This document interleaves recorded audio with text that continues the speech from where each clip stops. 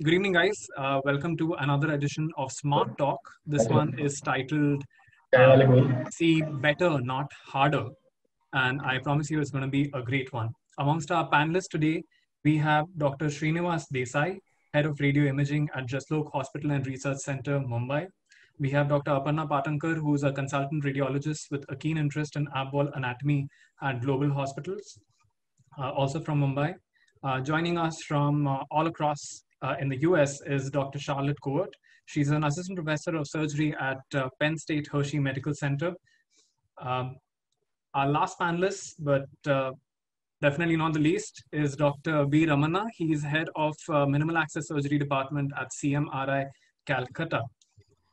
Our first uh, speaker for the evening is uh, Dr. Shuvro Roy Choudhury. He's a consultant radiologist at RN Tagore Hospital, Calcutta. Oh yeah, Dr. Desai has just joined in. Uh, good evening, sir. uh, moderating hi. the event are going to be me. I'm Eham Arora from Grant Medical College and Sir JJ Group of Hospitals, Mumbai. And along with me, I have Dr. Harsh Sheth. He's a consultant uh, laparoscopic and GI surgeon at Saifee and Wockhardt Hospitals, uh, Mumbai. Um, so over to you, Dr. Shuvro Choudhury. Uh, looking forward to your presentation. Right. Can I share my screen? Yes, please.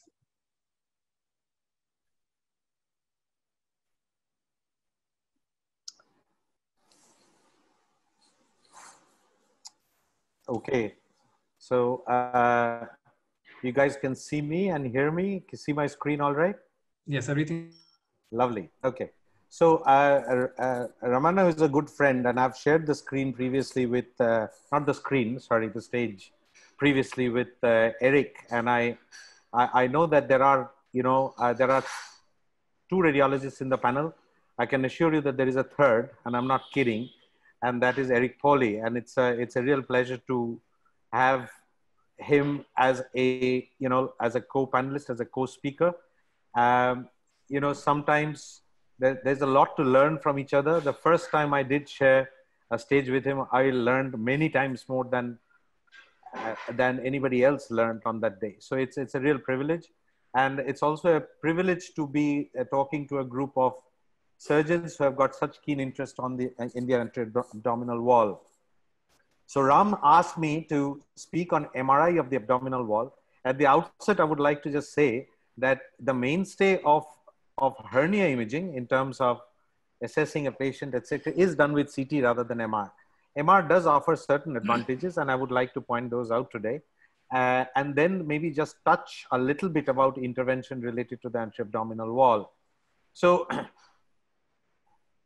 so, you know, there has been a paradigm shift in the management of complex ventral hernias with multiple recent, and by recent, I mean the last 15 years of technical advances in the repair technique. Uh, a CT is the mainstay of imaging, and I think we are going to hear from Dr. Pauli on this. And I'm not going to talk at all on CT, although there would be some CT images for inevitable reasons because it is the mainstay. Uh, MR and ultrasound can be used as an alternative in selected cases of course, for superior contrast resolution and the fact that it is non-radiating. However, MR and its signal characteristics are often, often an anathema to surgeons. So Ram specifically asked me to spend five to 10 minutes of this talk on talking on very basic stuff about MR and MR signal characteristics. If it is insulting to some people, then I apologize at the outset because this is going to be very, very basic.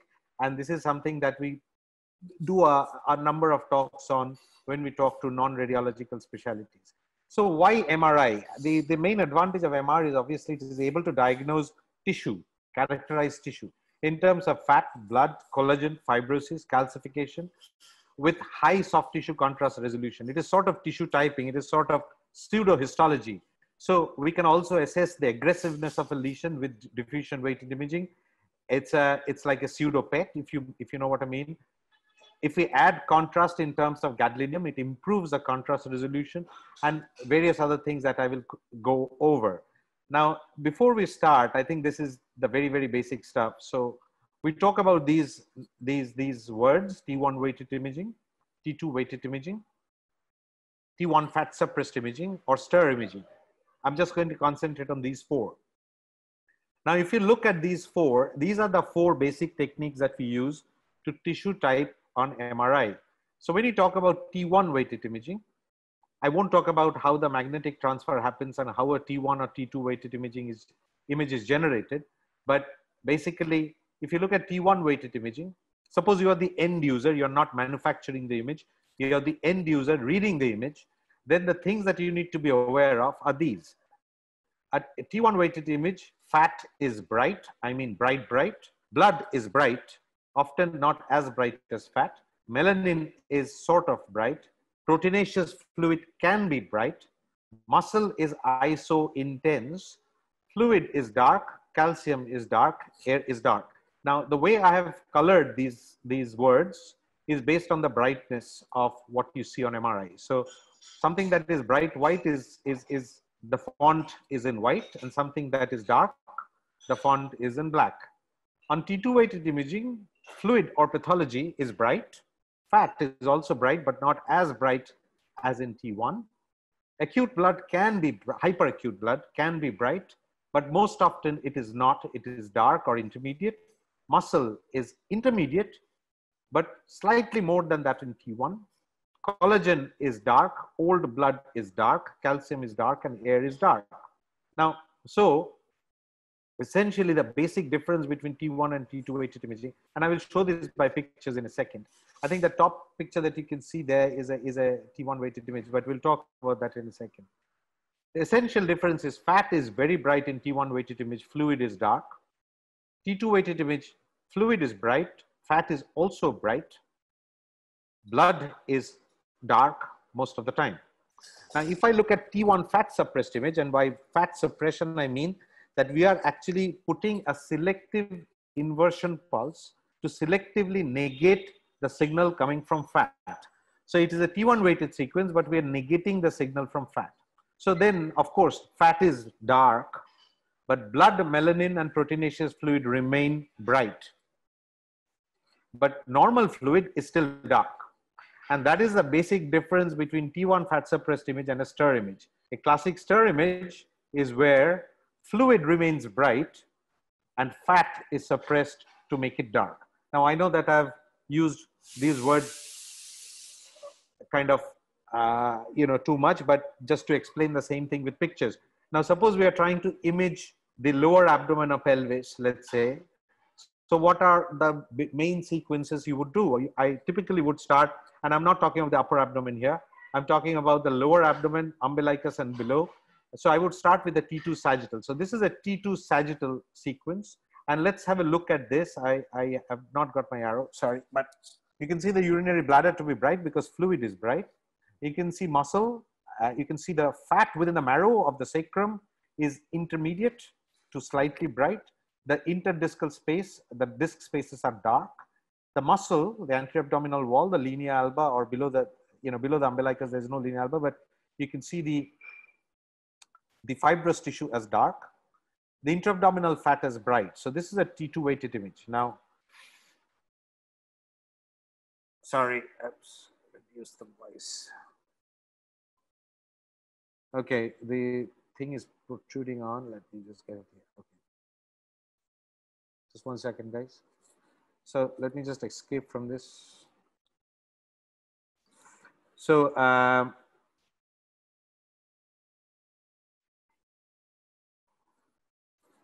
one second. So, uh, da, da, da, okay. So if you look at the movie now, uh, you will see that again, same things. So this is a T2 sagittal, that what we would start. This is a female, you can see the uterus. You can see a part of the iliopsoas, which appears as dark as we come along to the side. We can see the muscles of the, of the back and we'll talk about that potential advantage of MR when we image the anterior abdominal wall. See, this is the gluteus, for example. We know that the gluteus right at the back uh, I don't know whether you can see my arrow. See right at the back, see the, the, the intramuscular fat content.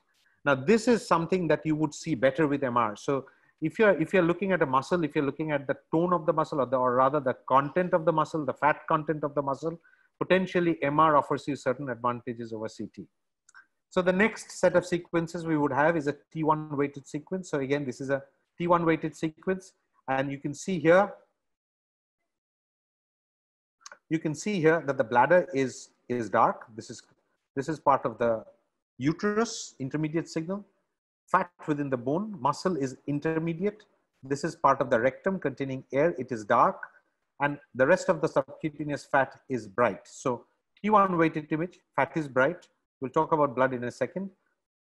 And let us just have a look at this image.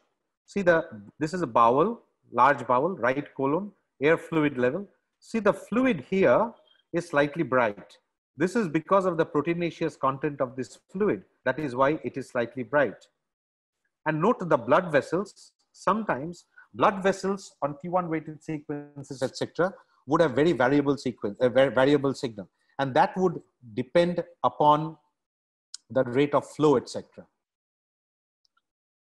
Okay. All right. So that's the point I was trying to make on the movie there is the fact that proteinaceous fluid, as you saw in this particular case, you, you saw that it was actually slightly bright on the, in the bowel. So an interesting point about this, if I just go back, sorry, one second, uh, Ram. So one of the interesting points is if as we come to the, as we come to the lower end of the axial images, sometimes because of partial voluming, you can actually mimic, mimic a hernia. You can actually sometimes see that there appears to be a defect. But this is not actually a defect. If you look at it multiplanar reconstructions, you would understand that that is actually not a defect. So for example, this is a very recent case. This is a very recent case. As you can see the circled place where it appears to be a defect. And uh, if you look at the MR, even on the MR, there appears to be, there may be a gap there as the, you know, the, the lower end of the rectus sheath inserts into the symphysis. I'll just show you in this corner here. But this is not really a hernia because to identify a hernia, you do need to see a sac. And there wasn't any sac here. And this is the laparoscopy done very, very recently actually to, to sort of prove that there was no hernia because there was some clinical doubt about this. So coming to the next basic sequence is a T2 weighted axial sequence. This is you can call the workhorse sequence for most imaging within the pelvis, uh, whether it is for gynecological indications or for pelvic surgical indications. Uh, again, fluid is bright, okay? And one place where you can assess fluid if you are not having the bladder is the CSF around the, within the spinal canal. And the CSF is bright as you can see here. And then if you come slightly further down, even the fat is bright. And uh, we have been through these, these things. The bladder is, bladder is bright, obviously. And this is the point that of confusion that I was mentioning to you about. But here on the, you can actually assess and you can see the extreme clarity with which you can see the pelvic organs. You can see all the muscles. The intramuscular fat planes are much better appreciated on MR than on CT. And there are a few things, for example, I don't know whether you appreciated as it went through the common femoral vessels and the inferior epigastric artery, which you can see quite well on MR. And that is a very key landmark when we try to assess a hernia. Then we come to T1 fat suppressed image. And this is not so much applicable to hernia, not so much. Uh, and the main application of that is that it's T1, so fluid, bladder, urine is dark, fat is suppressed, but blood is hyper intense. So here, for example, you can see an endometriotic cyst with a hydrosalpinx on the right side, bilateral endometriotic cyst, because they contain blood, these are adnexal structures, they appear bright. So I can tell that this is a fluid, but it is a blood containing structure. So you can distinguish this between a normal serous or mucinous or a, sero, or, a, or a you know, uh, uh, a cyst adenoma to an endometrioma. I can distinguish by the fact that this contains blood and therefore it is likely to be an endometriotic cyst. So similarly, in the setting of the anterior abdominal wall, I can give you an example of, let's say, a rectus sheath hematoma versus a desmoid. If you use a T1 fat suppressed image, then you can distinguish between the fact that it is a rectus sheath hematoma. The next sequence is a stir, a coronal stir. And a coronal stir is actually a very, very useful sequence because the fluid is bright and by definition, pathology is bright. Because pathology contains more fluid, therefore pathological structures are bright. So for example, in a perianal fistula, this is a linear, simple, intersphincteric, uh, simple, uh, you know, uh, intersphincteric fistula tract entering the plane with, uh, with no side extensions or no supralevator extension, no ischial fossa involvement. uh, opening internally at the dentate line, opening externally at about you know seven o'clock. So this sort of imaging would be best done by a stir, which you can acquire in the axial and in the coronal plane. So the next bit that I'm going to talk about is diffusion weighted imaging. Uh, Eham, am I okay? Is that too basic for you guys? Should I continue along these lines? Absolutely. Okay, I, I sort of mouthed. Uh, okay, so the next thing that I want to talk about is is diffusion weighted imaging, and diffusion weighted imaging is an anathema to a lot of people. And I just want to explain the very basic concept of DWI. So what DWI means is just look at the left hand side picture. This, these are pictures of some cells and some water molecules. The water molecules are the blue dots, which are in Brownian motions, Brownian motion as indicated by the zigzag lines. And the black circles are the cells. So if you think about a normal acellular structure, a normal uh, water molecule is in free Brownian motion, which means it is unrestricted in its motion. As the cellularity increases, as you see on the right hand side pictures, the, there is increasing restriction of the water molecules, correct? So when you get more pathological tissue, for example, a cancer, or even an abscess, where you have got increased cellularity, you have reduced excursion of the Brownian motion of the water molecules. So therefore, you have got increasing restriction.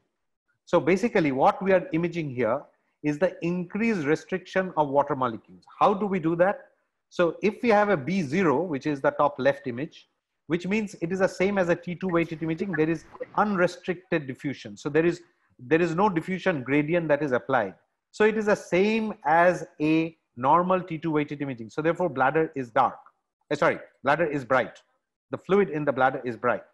As I increase the diffusion gradient to 500 to 1000, I am increasingly seeing the bladder becoming darker means that normal fluid is becoming darker. But if it was a pathological tissue, that would have got brighter. So a cancer would have got brighter as I went from B0 to B1000.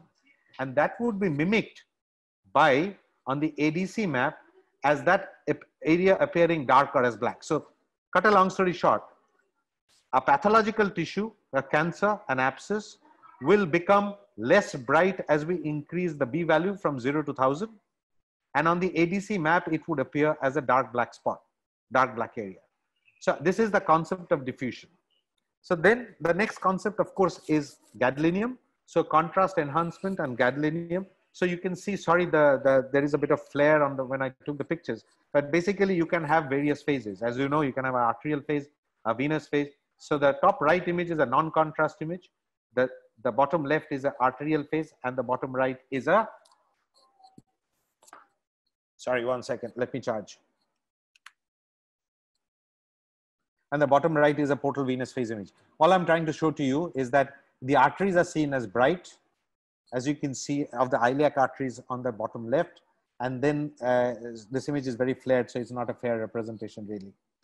So that having covered the basics of MR and signal intensity, I'm sorry if I've bored some people, particularly SBD and uh, you know Eric, I'm sure has been bored to death. So uh, the next bit that I'm just going to briefly speak about is the anti-abdominal wall. And this is something that you guys, I don't need to talk about, but all I wanted to, because of, you know, there's a CT picture on the left because we do, we do talk about the rectus sheath, the external oblique, the internal oblique, the transversus abdominis, uh, you know, the fat plane between the two obliques and the transversus abdominis, the little bit of latissimus dorsi, the erector spinae, the quadratus lumborum, they're all marked. Uh, obviously, the lumbar triangle, we'll talk about that in a second.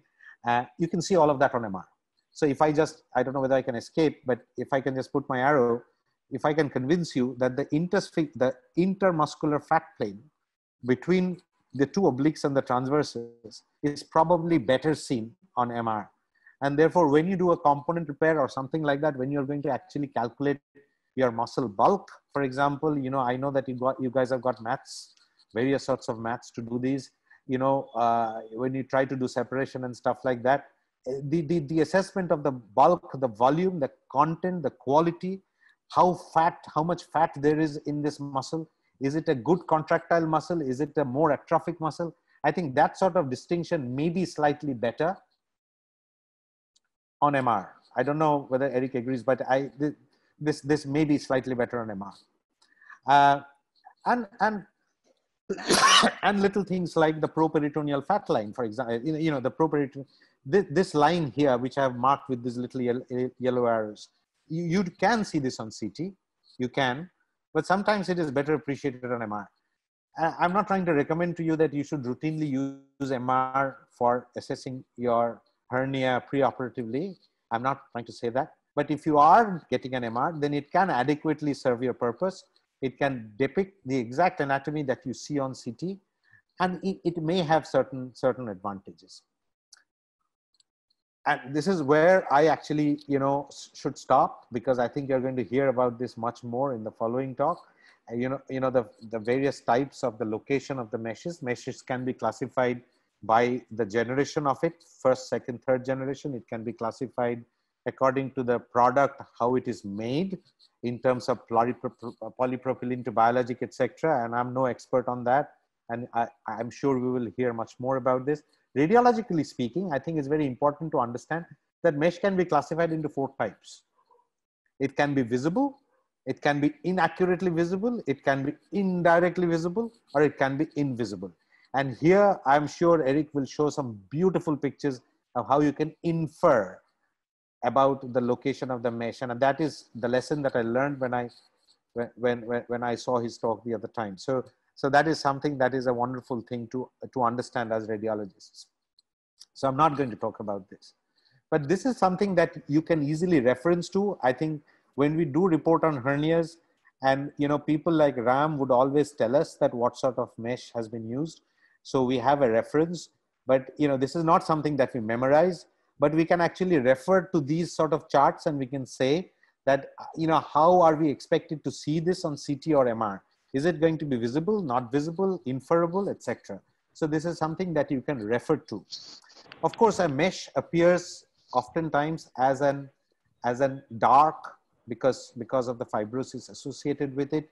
When there is a meshoma the, the, the surrounding fibrosis of course enhances as you can see on the bottom right image that there is an enhancement of that. This is not necessarily pathological enhancement because this is something that you would see at about two to four weeks onwards because of the associated fibrosis and enhancement. But typically the left-hand image is a bilateral inguinal hernia repair and you can see the mesh and that's, that is how it would appear as a hypo-intense wavy, oftentimes a wavy uh, uh, structure that is not a normal structure and, and uh, this is not I'm going to I'm not going to talk about that the the concept of you know various releases and you know the way that you assess assess the muscle in CT I guess you can assess the same on MR I am no expert on this in terms of loss of domain in terms of the ratio of the hernia volume to the residual abdominal cavity volume and this is something that we do on CT but I guess if push comes to shove we can do this on MR you know this is the sort of thing that we do and uh, basic volume segmentation. Uh, those of us who do oncological imaging and we have segmentation softwares, we can use our, our liver volume softwares, we can use those to give you exact volumes of, of, of the content versus the abdominal cavity and the ratio. And you know, you know that what numbers to use.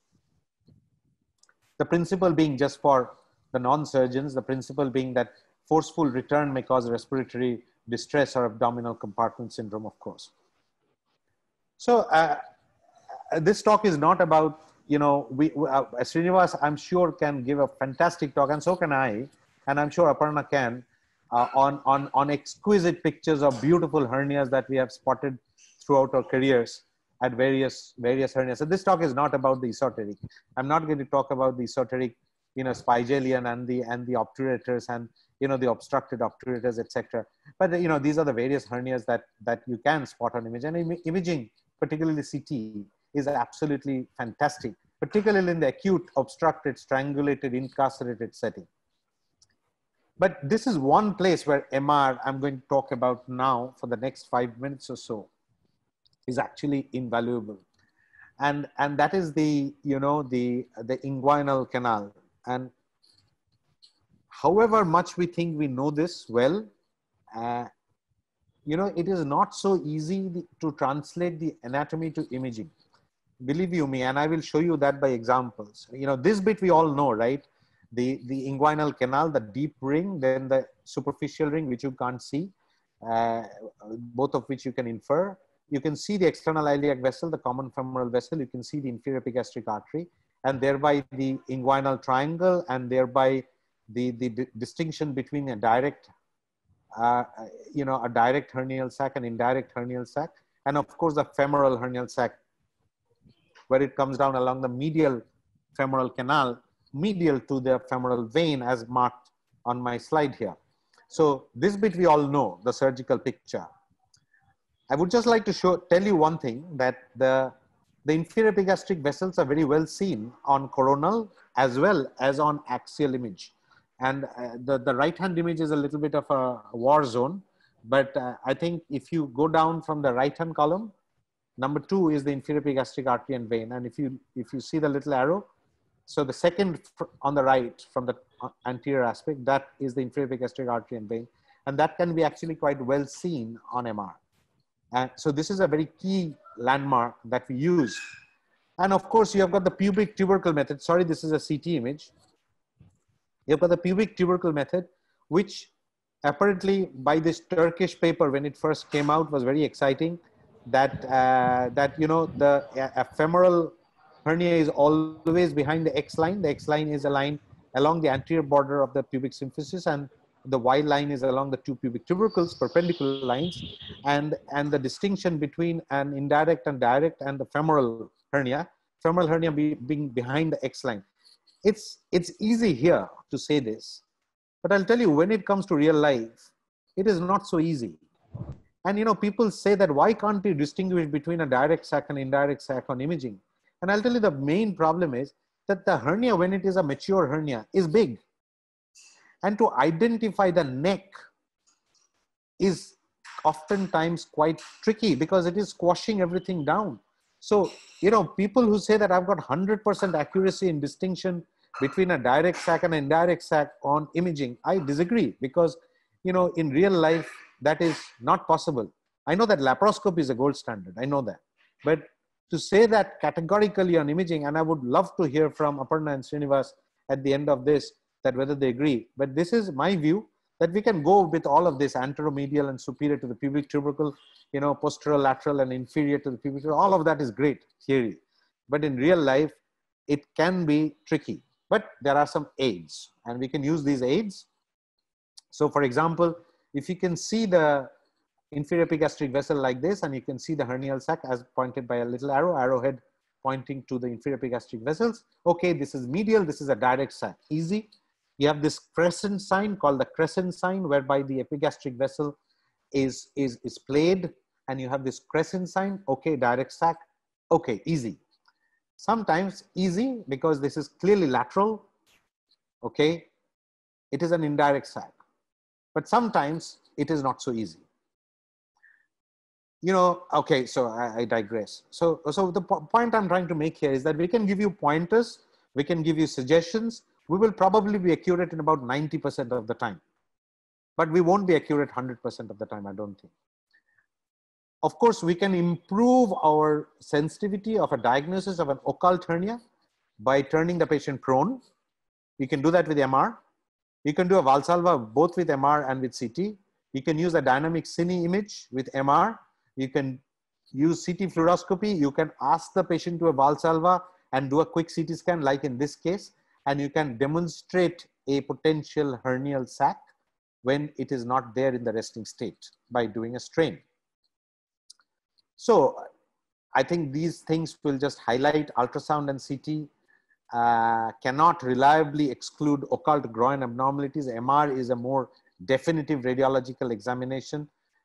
I cannot see the bottom of my slide, but, but I think it says that prone versus supine are equivalent uh, MR is supposedly the definitive radiological test. Some people will say herniography is the definitive test. I used to love doing herniography.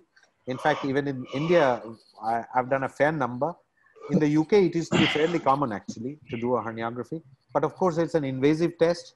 You guys would argue that you know why won't we do a laparoscopy instead of a herniography? Uh, you know, dynamic inguinal ultrasound, some people say is very, very good. I do, but not so much. I do prefer MR. Uh, so I'm not, I'm not going to talk much about literature. Uh, so I think bottom line about if you, if you combine the literature, it is to say that MR is probably the best non-invasive gold standard in trying to diagnose a occult hernia and groin pain. I think groin pain and groin strain is a composite clinical problem, which is much more complex, not covered by this talk. I think Shrinivas is a very good person to talk on that. And maybe you guys should do a separate session on this because that is not something that should be covered in a session uh, uh sort of this. So I think this is the sort of summary that uh, MR advantages are it is non-ionizing, it is cross-sectional, it is multi-planar, it can be used for dynamic studies. You can do a Valsalva, but it is expensive. Although in our country nowadays, it is no more expensive than CT, to be honest with you. Uh, so I think if you guys agree, we can shift to MR to do all of these cases as MR. But of course, it takes 20 to 25 minutes on the scanner, whereas a non-contrast CT takes two and a half minutes on the scanner. So that is one great advantage of CT. So, uh, of course, imaging for complications, I have not covered complications really. And I think we will discuss this bit a little bit in the panel about you know, seroma and collections. But I just wanted to finish my talk about what potentially some, I forgot to put one slide actually, but I will talk about it. So this is a desmoid tumor, just copied from the literature. I'm sorry, this is not my own. But you can see the heterogeneous mass occupying much of the right rectus sheath, shifting across the midline actually, pushing the left rectus down to one side. Locally invasive, as you know, this is a desmoid tumor. This is heterogeneous and trying to distinguish, and this is an abdominal wall endometrioma. This is something that I do diagnose because I do a lot of gynecological imaging and you can see the hyper intense focus within the muscle wall. And the point that I made about, so this is T2 weighted, so it is not so bright. If I use a T1 fat suppress sequence here, then this would have been really, really bright. Now this on the other hand is the advantage of MR. So this on CT would appear as an gray mass well-defined gray mass. So this is a rectus sheath hematoma. And can you guys appreciate a very subtle, a very subtle fluid fluid level? Can you appreciate? See the hyper bright to the not so bright. So this is a, oops, I've lost. So this is a rectus sheath hematoma. The reason I can confidently say it's a rectus sheath hematoma is the fact that this is bright on T1, blood bright on T1. What is the downside of doing an MR? Because on CT, I would have done an angiogram and I would have imaged the inferior epigastric artery and I would have told you guys whether this is actively bleeding or not. If it is actively bleeding, then of course we need to go and intervene, as I will show you in the next case. But or you guys have to go and do something, you know. But but MR will probably not tell you, but the sign of this air fluid, uh, sorry, fluid fluid level is a sign of a recent hematoma. I'm sorry I rushed into this presentation. I've got a whole talk on rectus sheath hematoma. And there are some lovely imaging caveats on rectus sheath hematoma and to try to characterize the acuteness of the rectus sheath hematoma. Without a picture, if I might just tell you that on CT, you will sometimes see a horizontal contrast layer at this junction of the serum and hematocrit. And that is a sign of active bleeding. And that is a sign of active intervention requirement. So, so with that, I'm going to come to the end of my talk. I'm going to finish with a little case. And this is a 62 year old male with chronic liver disease under the gastroenterologist for recurrent ascites. He gets, he gets multiple aspirations. He present, sorry, he gets multiple aspirations for his ascites. Uh, high volume paracentesis. So he presents with hypotension. So this is not really an abdominal incision. Most of the time we see this as a complication of a Pfannenstiel. That is the most common indication to get it. So presents with hypotension, resuscitated, hemoglobin 5.6, shifted from PG hospital in town, no recent worsening of liver function, tender abdomen just lateral to the midline. The CT, unfortunately, it's a I, can't get hold of the picture, uh, 2015, shows a pseudoaneurysm from the right inferior epigastric artery, but it was questionable whether there was a supply from the left or right. And this is a point I would try to make in, with the case. Uh, with a 14 times 8 centimeter hematoma and a 2 centimeter pseudoaneurysm. Okay. So the patient is brought, and we, this is something routinely we go and embolize. So this is a left angiogram. The reason I do a left angiogram is twofold. Firstly, I'm going to access, I'm going to access the right inferior epigastric artery from the left side over the bifurcation, easier, like this, and then round the corner. The second reason is that, watch this. Okay, this is the left injection, right? And do you see this little blush? Can you appreciate this blush? So this is a blush from the left side. Okay.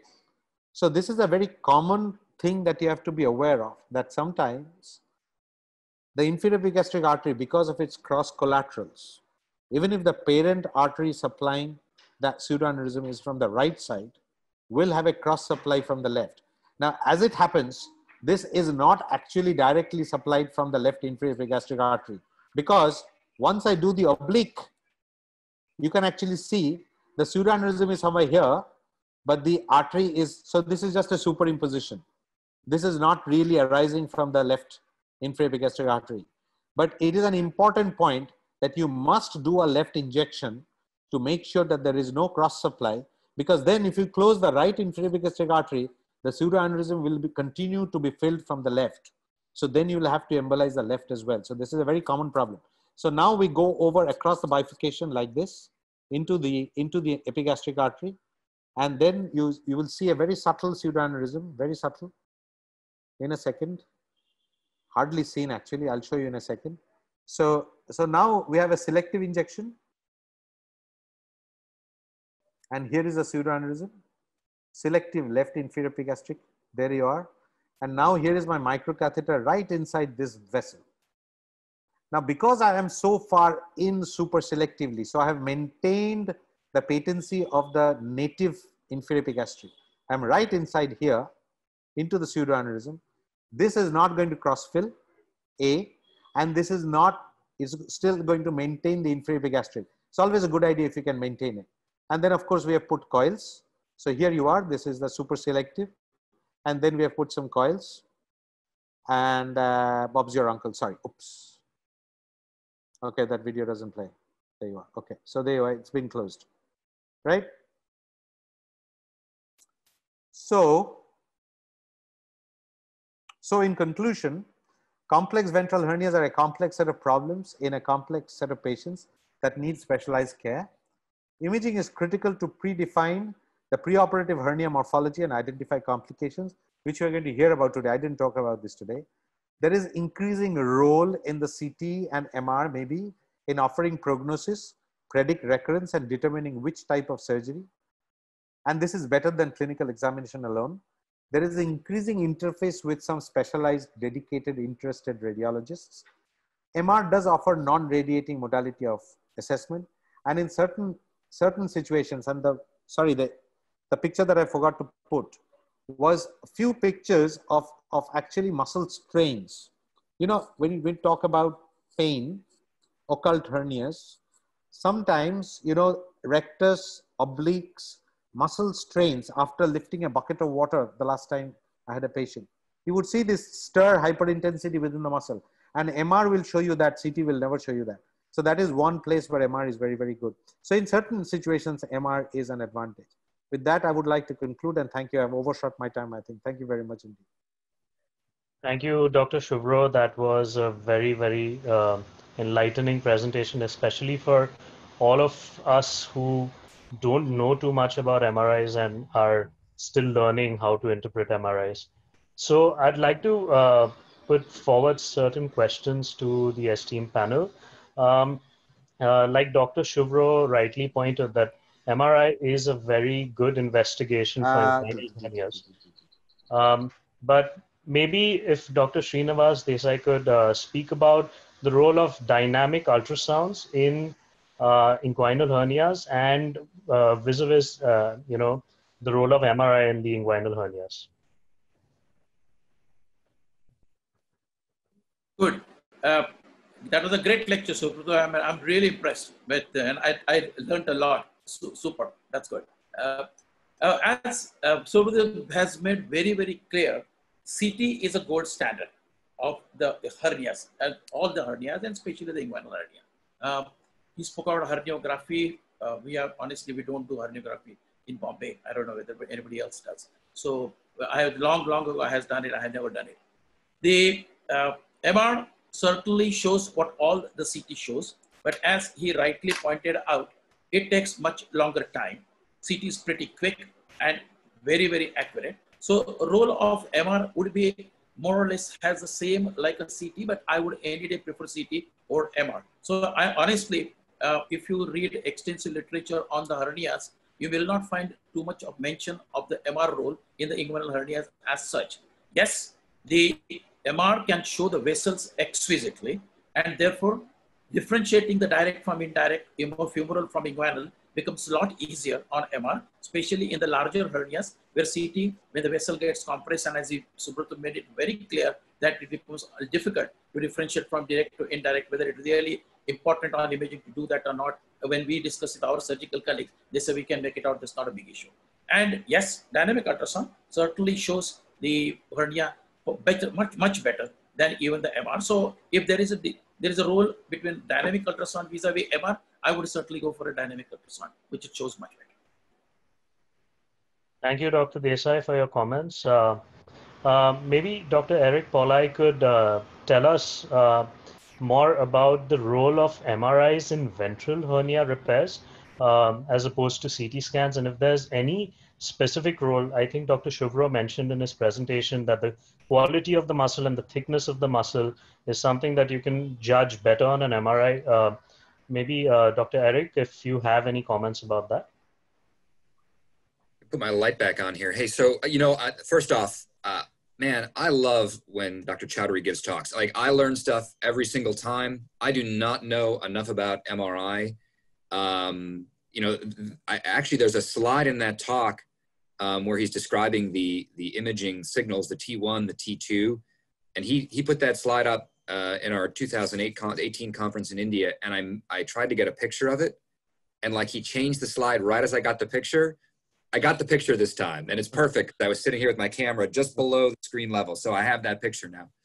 Um, there is absolutely a role, and some of the things that Dr. Choudhury pointed out, I think, are important. Number one, the ability to uh, identify mesh uh, based off of the difference in MRI characteristics. You know, when mesh is isodense to the stuff that surrounds it on CT imaging, it can be very challenging to find. So if you have a strong need to absolutely find mesh, um, it's certainly helpful.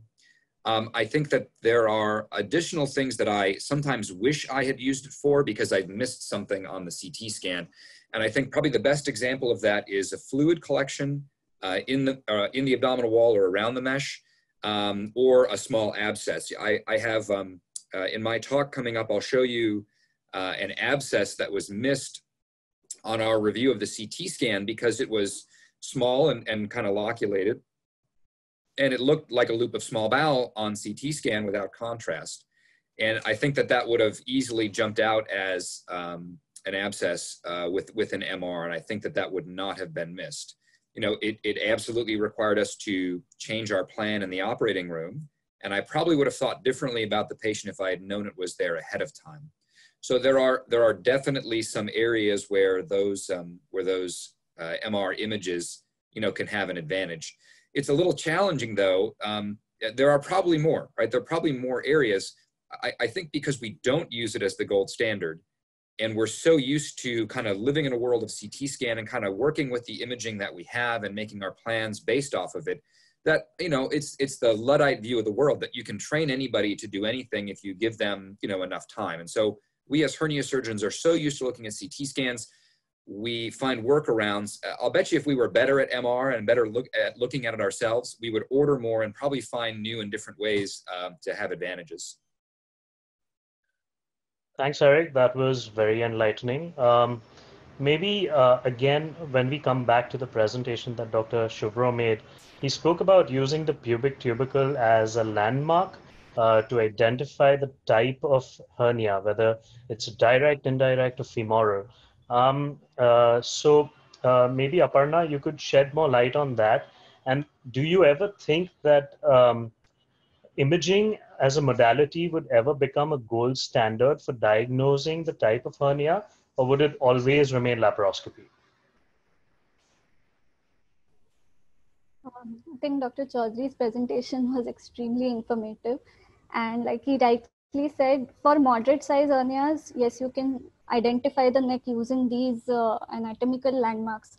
But when there are large hernias, because all the vessels are splayed, then it becomes difficult. So I don't think it can replace laparoscopy, especially when the hernias are large and your anatomy is distorted. But when the size is moderate, I think, yes, we can definitely tell. Right. Thanks, Aparna. That's uh, succinctly explained. Um, Dr. Ramana, if you have any other comments to add to Dr. Shuvro's presentation. Um, I think the most important uh, issue which Shuvro, uh, for obvious reasons, failed to uh, explain is our illiteracy. Surgeons are MR illiterate. Over the years, we have managed to learn to read CTs to a fairly acceptable levels, but we are still largely MR illiterate. We need to learn that much, much better. It's not the radiologist's fault, it's ours. Thank you, Dr. Ramana. Uh, Charlotte, uh, would you like to add anything to Dr. Shuvro's presentation?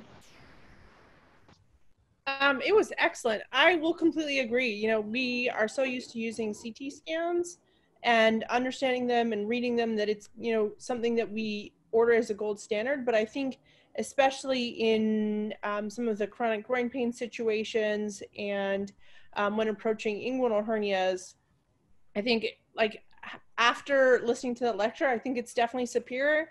And although I have been trained with dynamic ultrasound, that is, you know, very user dependent. Um, and uh, also like the technologist is, you know, you're kind of relying on them. Um, and sometimes haviness can be hard when you're doing ultrasound. So, you know, really utilizing MRI as uh, an alternative um, if you don't have that available to you can really help delineate some of the musculoskeletal things instead of just looking at hernias, which is great. And sometimes you pick up these very small hernias on an ultrasound and you don't really know if that's actually causing the symptoms. And so having them in a larger context, kind of being able to really evaluate the uh, pelvic structures with MRI is very useful. The other other indication that I would think about is age. If, if, if you've got a young patient, then it is much better to use MR if you're not using ultrasound, MR, simply because of the radiation. Because, you know, uh, it, it is better to withhold radiation with MR. Unfortunately, Dr. Shuvro, I can't remember even one dynamic ultrasound which has actually given me a diagnosis of an inguinal hernia. Maybe it's uh, poor radiologist, maybe it's a difficult technique, I don't know, but it's just very difficult. No, no, I, I, I agree with you. I think, to be honest with you, I think SBD, you heard Shrinivas talk about it. The, the, the concept of uh, the main advantage of dynamic ultrasound is the fact that it, it, you are getting a valsalva, you're actually seeing something coming and going. But to be honest with you, you need to be so certain about your anatomical landmarks below which you consider that this is a hernia as opposed to the normal bulge. Because you know if you ask somebody to cough and put a, put an ultrasound probe in the groin uh, I, you know one other day we will have to talk about groin as a separate issue. Because i think uh, this is just the tip of the iceberg. The inguinal hernias is only a small fraction of groin problem. So i think maybe we'll talk about it another day. But generally speaking you have to have a radiologist who understands you know understands the femoral uh, sorry the inguinal canal anatomy and how does it translate to an ultrasound very, very well. So this is user dependent. The advantage of CT and MR is they're cross sectional, right? So you can draw lines and you can, and because you can also do Valsalva, maybe you cannot stand the patient up. That's a great advantage of ultrasound because you can stand the patient up with ultrasound, which you can't with CT and MR.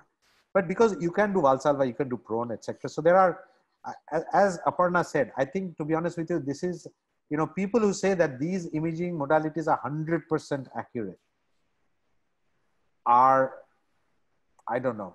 I'm maybe I'm not that good. Uh, well, can I just pitch in? Yes. Yeah. Yeah, sure. What you said, Doc, is very right because the, the ultrasound is very operative dependent. And therefore, you need a great amount of expertise and, and interest of the ultrasonologist in doing a particular work. Our ultrasonologists are really good because I'm telling, telling from our hospital uh, experience, they're pretty good.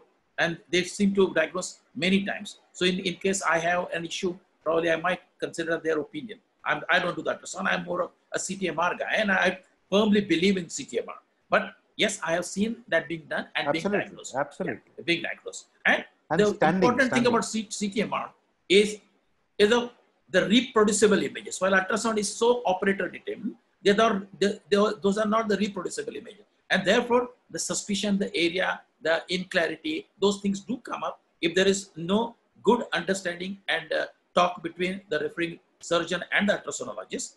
And if the ultrasonologist doesn't have the interest in doing that particular specialty, that's an important issue. Right. Uh, I think Dr. Jignesh Gandhi has a very pertinent uh, question or rather comment uh, in the chat. Um, his question is, do we conclude that a CT is better for pre-op imaging and an MRI better for post-op imaging as, you know, an MRI can pick up complications better? Whom are you addressing? Uh, so, uh, Dr. Shrinivas, if you can take that question. Yes, th then I'll congratulate Subrato that he has induced somebody to ask this question. Subrato, fantastic job, I should say. Because honestly, the answer is CT suffices for everything, to be honest, especially when it comes to the hernia, whether it's a complex ventral hernias or any other hernias. CT is the gold standard.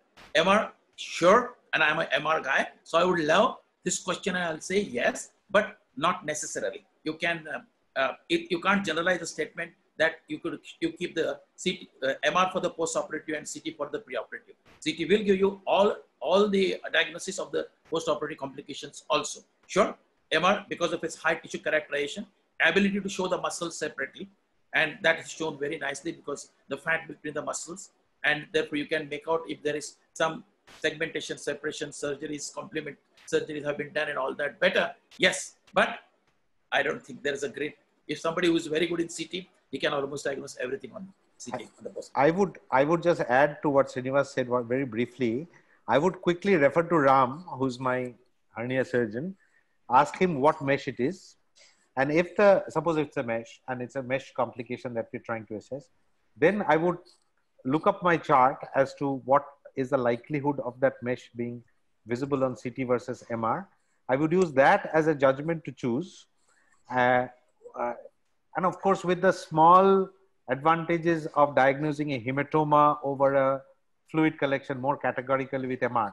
So there is some sense in what uh, the, you know, what, what uh, Jignesh has asked. There is some sense in that. But equally, CT is so much easier quickly inside the gantry and out. In a patient who's got complication, you don't want a 20 minute examination. You right. want a two minute examination. So, you know, you can, like everything in life, it is always gray and you can argue both ways. Uh, Harsh, let's have uh, Eric uh, start his talk because it's going to take a while. Yeah, All right. Uh, so thank you, uh, Dr. Shuvro. That was a great presentation. And I think we'll leave you to go and perform that Doppler for the post-transplant patient. No, no, I'll listen to Eric, Eric's talk. I cannot not listen to Eric's talk. Great. Okay. I, I, can see Eric is excited about that. All right. Over to you, Eham. Uh, superb, guys. So our next speaker for the evening or morning, depending on where you are, is uh, Dr. Eric Pauli. Uh, Eric is a professor of surgery at Penn State uh, Hershey Medical Center. He's also the director of endoscopic surgery. So he has this amazing combination of doing a surgical endoscopist plus doing complex AWR. Uh, but his superpower is clearly like X-ray vision. Eric has CT vision. And uh, honestly, over the past few years, a bunch of us have learned a lot about uh, CTs in uh, abdominal wall imaging from him. And uh, I'm really looking forward to this uh, lecture. All right. Well, um, uh, thanks, Eham. Those really kind words. And uh, as I said earlier, um, I, Dr. Choudhury, I, I, I, just, I love, I love watching you talk. I, I you know, the other thing that I, I'm gonna, this is gonna happen again. You know, that last lecture we did together, we didn't really plan anything. No, we didn't. Worked out really well because of coming at things from different perspectives. Yes, and indeed. I think that this is gonna potentially be uh, very similar. Um, let me do my screen share here. Can you guys see my slides? Yep. Yep. Okay. And let me just put up my screen here. Okay. Um, so uh, as uh, Eham said, I, um, uh, you know, I am a, I'm a surgeon and we're going to talk about this stuff from a surgical perspective. I don't know how many surgeons versus radiologists we have on the call. Um, I'm definitely a surgeon, although um, if Dr. Choudhury would like to get me honorary appointment as a radiologist, that's like my next, that's the next feather in my cap that I'm looking for. I want like joint appointment as a radiologist somewhere. Um, I have some disclosures which are really, well, have not anything to do with the talk um, today. So I put this slide up whenever I talk about um, radiology. I had the pleasure of visiting my friend Filip Muysoms in Belgium, and beforehand we went to uh, Amsterdam and we spent some time kicking around museums, and um, we, we got to see this really cool exhibit on, on Rembrandt sketches. And you look at this amazing Rembrandt sketch and you, you know, you see all the detail, but the trick to this picture is that the name of the picture is actually called the baby walker. And the important part of the picture is not the stuff that's easily seen in the foreground, it's the stuff that is extremely subtle in the background. And Rembrandt actually painted this as a reminder to pupils that you can master your craft and the subtleties of your craft come through constant practice. And, and radiology and the ability to view CT scans and MRIs in black and white is really this exact same thing. You need to do this regularly um, as Ramana said, you know, in particular for MRIs, we just we just don't do it enough, and that's why we're bad at it. There's no reason that we as surgeons can't look at films and begin to understand the principles that Dr. Choudhury was uh, talking about. So for this talk, what I'm going to do is kind of highlight the routine use of CT scans for the imaging of hernia patients. Um, I'm going to talk a little bit about, you know, the information that you can gather from these films that will obviously inform the hernia repair. And then I'm going to spend maybe the second half of the talk just kind of going through some films of some patients so that you guys can see a little bit of the practicalities about how I do it.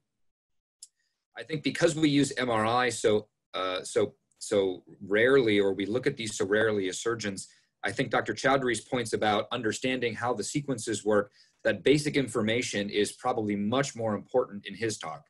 I think because we as surgeons use CT scans a lot more often and we look at them, I'm going to spend less time talking about kind of how the images are acquired and what you should be looking for. I'm going to uh, assume that we have a, a background kind of shared knowledge in that. And I'm going to try to put um, the, the knowledge base into practice and talk about some of the principles that will show you.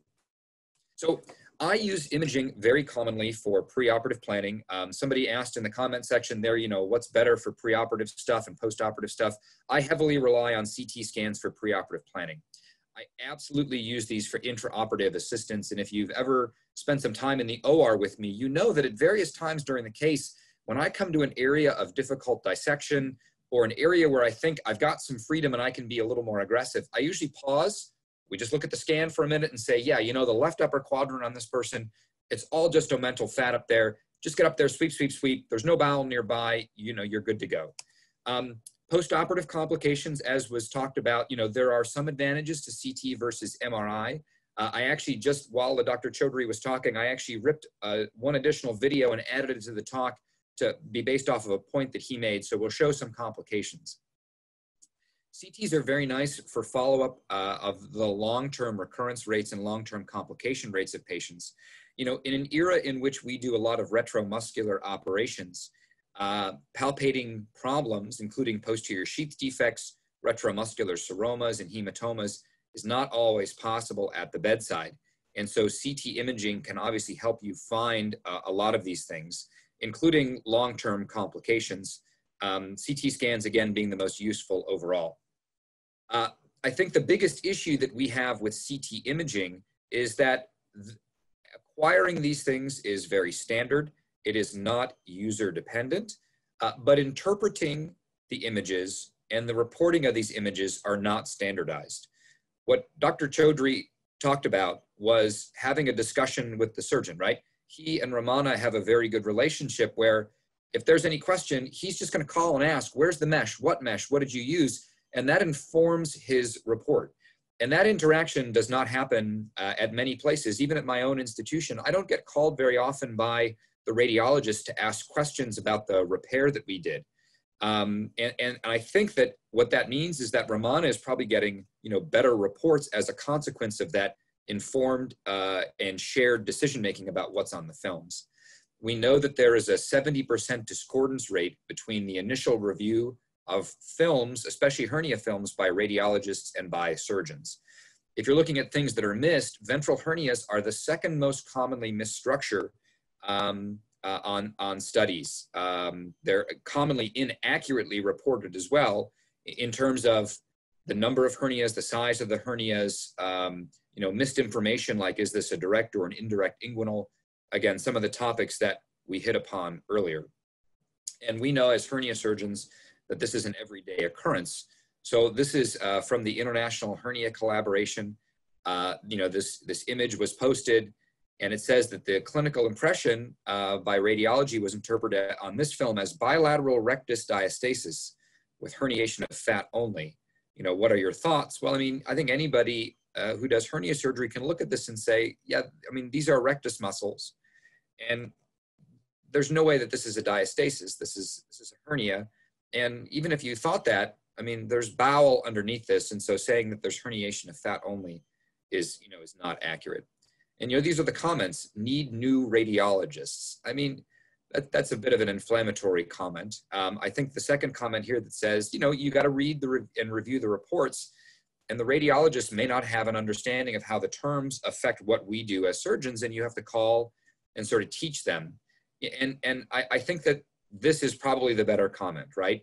The radiologists are, are not intending to misinterpret these films they are also looking at things that are potentially more important, right? Is there a liver tumor or a liver mass? Is there a bowel obstruction? The interpretation of the abdominal wall imaging is not a standardized part of the reporting. And again, calling up, talking, going down to the radiology department, looking at images together informs their reads. And so whenever I have a discrepancy in terms of the read that I have with a, radiologist, especially if it impacts what I'm going to offer the patient. If I need to review the films and ask them to amend the report, you know, I'm happy to do that. And um, yeah, I think the biggest example that I can give you of, of how this has changed, you know, their practice and, and mine is for retromuscular peristomal hernia repairs, where we are intentionally positioning bowel between the layers of the abdominal wall. You know, that looks radiographically like an intraparietal hernia because on some level it is. I mean, we are intentionally trapping bowel between muscle and mesh. And so the early um, reads on my retromuscular, uh, you know, sort of polyperistomal hernia repair patients were commonly read as, you know, bowel trapped between the layers of the abdominal wall. And so over the course of time, having done a lot of these here, having reviewed those reports with the radiologists, now they will call me and ask, hey, is this this type of operation? Because if it is, if we know that, we know what the report should say. And so they've kind of changed their reporting as a consequence of that. Um, when I am looking at a patient preoperatively, there are obviously some things that come into play that influence how I'm going to think about their report. I'm sorry, think about their operation. That includes the the physical examination. You know, I um, unlike Dr. Choudhury, you know, I I have the advantage of potentially laying hands on the patient to feel, and then I can kind of put that physical exam together with the abdominal imaging studies. And then I also have the advantage of having the old operative notes, um, you know, in my, so even if I don't have the, the surgeon on the horn, I have the film, I have the report to kind of understand like what were they intending to do with this operation. And I think that, that the fact that I have two things that are my radiologists don't is part of the reason why I can look at these films with a, a slightly, you know, jaundiced eye. And uh, you know i have extra information that's been hidden from them. And so if, if people are working with a lack of information the report is going to be influenced by that. So when i look at the old op notes obviously i'm trying to understand what operation was being described. Op notes for hernia surgery um, are terrible. I think we can all agree to that. They commonly don't include what mesh was used um, or how big it was or things like that you know, I don't know what a left paramedian juxta umbilical ventral abdominal hernia incisional is. That's a lot of words to explain an M3 incisional hernia. Um, and so even with the report, you may be a little bit handicapped. Understanding if mesh was used, where it was placed, and what kind of mesh is there is also helpful because as Dr. Choudhury said, you know, if you know what mesh is there, you have the ability to think about what imaging modality might be best to identify where this mesh is physically located. Uh, knowing what anatomic planes have been violated in terms of whether components were intended to be separated is helpful because you can then look for evidence of that on your imaging study and, and find out does what they described or what they intended to do in terms of a component separation match what's on the scan. I also look, uh, uh, you know, to determine how hard was the adhesiolysis of that imaging study, because then I can try and figure out, like, should I be doing this open or minimally invasive? Uh, you know, what what is the better option here? You know, why physical examination uh, or CT versus physical examination?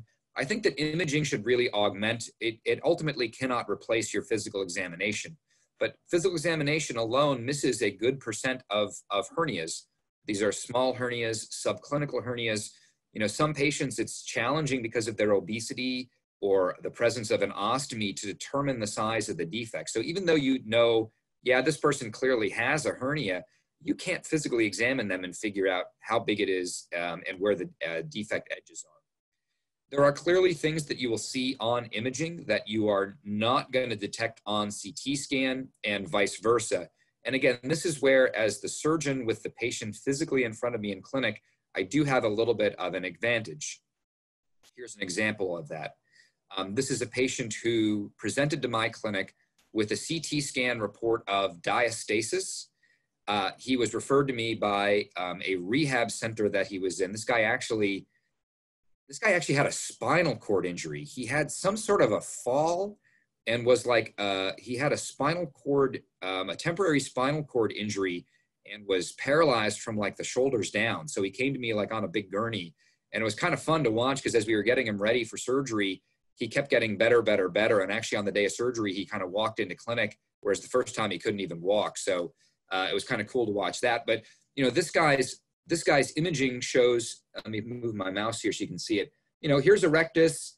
Uh, here's a bridge uh, and here's here's a rectus here. And if you if you look at this, you say, yeah, you know, this looks like a diastasis. But there's a few things about this if you have the op note. Number one, he has mesh, and once you know that, you can kind of pick up that this is probably the medial, um, I'm sorry, the lateral edge of some mesh that was bridged here. And number two, you know, there's there's clearly some inflammatory thing going on here that is different than the contralateral side. And so, you know, what we're actually seeing here is this area correlates with um, uh, this area of infection right here. And if we zoom in on that and take a look with our eyes, um, this is obviously an area of infection and lower down. There's obviously some permanent synthetic mesh eroding through the abdominal wall. This patient was an active smoker uh, and he also has MRSA. And so obviously that informs, you know, the operation we're gonna offer this patient. Um, other things I look for on the CT scan is obviously how big is the defect. Um, you know, we want to figure out uh, how wide the rectus muscles are in an era, again, of retromuscular operations being the king. You know, we're trying to figure out what components, if any, am I going to separate? Is this a preperitoneal operation? Uh, is it retrorectus alone, or am I going to have to separate additional components? Understanding where the defects are located, like this subxiphoid defect, Obviously, defects that abut bony landmarks require additional understanding of how to cross behind or above those landmarks to afford a repair.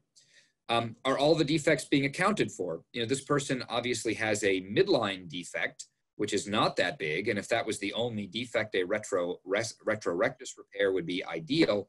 But this person has an old ostomy site defect here. That ostomy site defect you know, obviously is uh, beginning to encroach upon the linea semilunaris. And so if you're just planning a retrorectus operation on this person, I got to be honest with you, you're not going to have a lot of overlap here. And so you might change your plan and think about maybe a preperitoneal, maybe a unilateral TAR, maybe an onlay repair that can easily go past the semilunar line if you don't do retromuscular hernia operations. Um, we can think about the Carbonell ratio. You know, this has not made it into print yet, but this is obviously a concept that uh, Al Alfie Carbonell and his group from Greenville, um, uh, uh, South Carolina, kind of talked about, which is that if the if the defect size is twice the size of the ret the retrorectus space, you're probably going to need something beyond a retrorectus release to do the repair. And in you know, in most in my practice, that would be a TAR, but you're going to need something else. And so, um, you know, he's got data to back this concept up. And again, you know, this this probably matches. If you weren't aware of this ratio, probably matches what your practice is now. I think getting the ability to look at a scan and say, this person needs something beyond a retrorectus repair, most likely will not only help you have a discussion with the patient about how big the operation is going to be, but for me, it also helps me plan my operative time, right? This is not just retrorectus, almost certainly going to be a TAR. I'm going to plan this for four hours instead of three hours, right?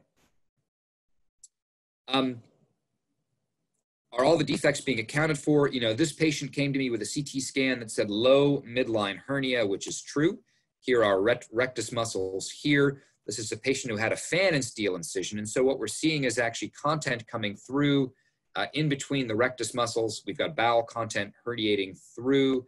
This is actually kind of cool because of the way Pfannenstiel incisions happen. You can actually see the external oblique here being lifted up off of the rectus. And so the actual fascial gap is from here to here. The defect in the rectus muscles is from here to here. So you've got some separation of components as a result of the type of incision but there is this bulge on the side which is not in the report and you know on this particular cut it's not super obvious but if you go one cut above this becomes much more obvious that there is a partial thickness defect of the abdominal wall here with intact external oblique being stretched and internal oblique and transversus being disrupted. And this is the lateral extent of a Pfannenstiel incision that went just a little too far lateral and only the external oblique was closed. And so if you only fix that low midline defect, this patient is absolutely going to come back to you not too long later and say, hey, um, speaking of hernias, what about this bulge on the side? You know, can we fix this now? And so obviously knowing that these are there allows you to repair them all at once. How about denervation injuries? This is a patient who has had a unilateral operation. We can see an intact, pretty healthy looking right side rectus abdominis. We can see a linea alba that has a little bit of diastasis here. Um, this person does have a hernia lower down, but the reason I, I chose this cut is you can see that this rectus is actually quite denervated here as a result of his previous surgeries. And so this person is somebody you've got to counsel that even though we fix your hernia, as this denervation continues to progress, this guy may have some bulging and weakness. And I just want them to be aware of that up front. This is also a person I might consider changing my mesh choice to a heavyweight mesh uh, because of the need to support an abdominal wall, which is not going to have good muscle tone at the end of the day. This patient is almost completely denervated. This guy came to me with a peristomal hernia, which he, which he does have. Um, you can see the, the defect here in the left-sided rectus abdominis, but you'll notice that he is almost devoid of muscle, okay? He's got a psoas muscle, he's got an iliacus here, but like almost everything else is missing. I mean, this guy's this guy's got um, no gluteus. He's got no lateral muscles. He's got no rectus. And when I talk with this guy, he's had this progressive weakness that's been ongoing for years over the course of time. And he had really just never complained about it. And I sent him to neurology and they, they actually diagnosed him um, with a progressive uh, neuropathy. And, you know, ultimately, this guy was so debilitated. Um, he, he actually progressed to the point where he was unable to walk uh, we never actually repaired his peristomal hernia because it's not bothersome. He, he doesn't wear a bag. He doesn't do all that much.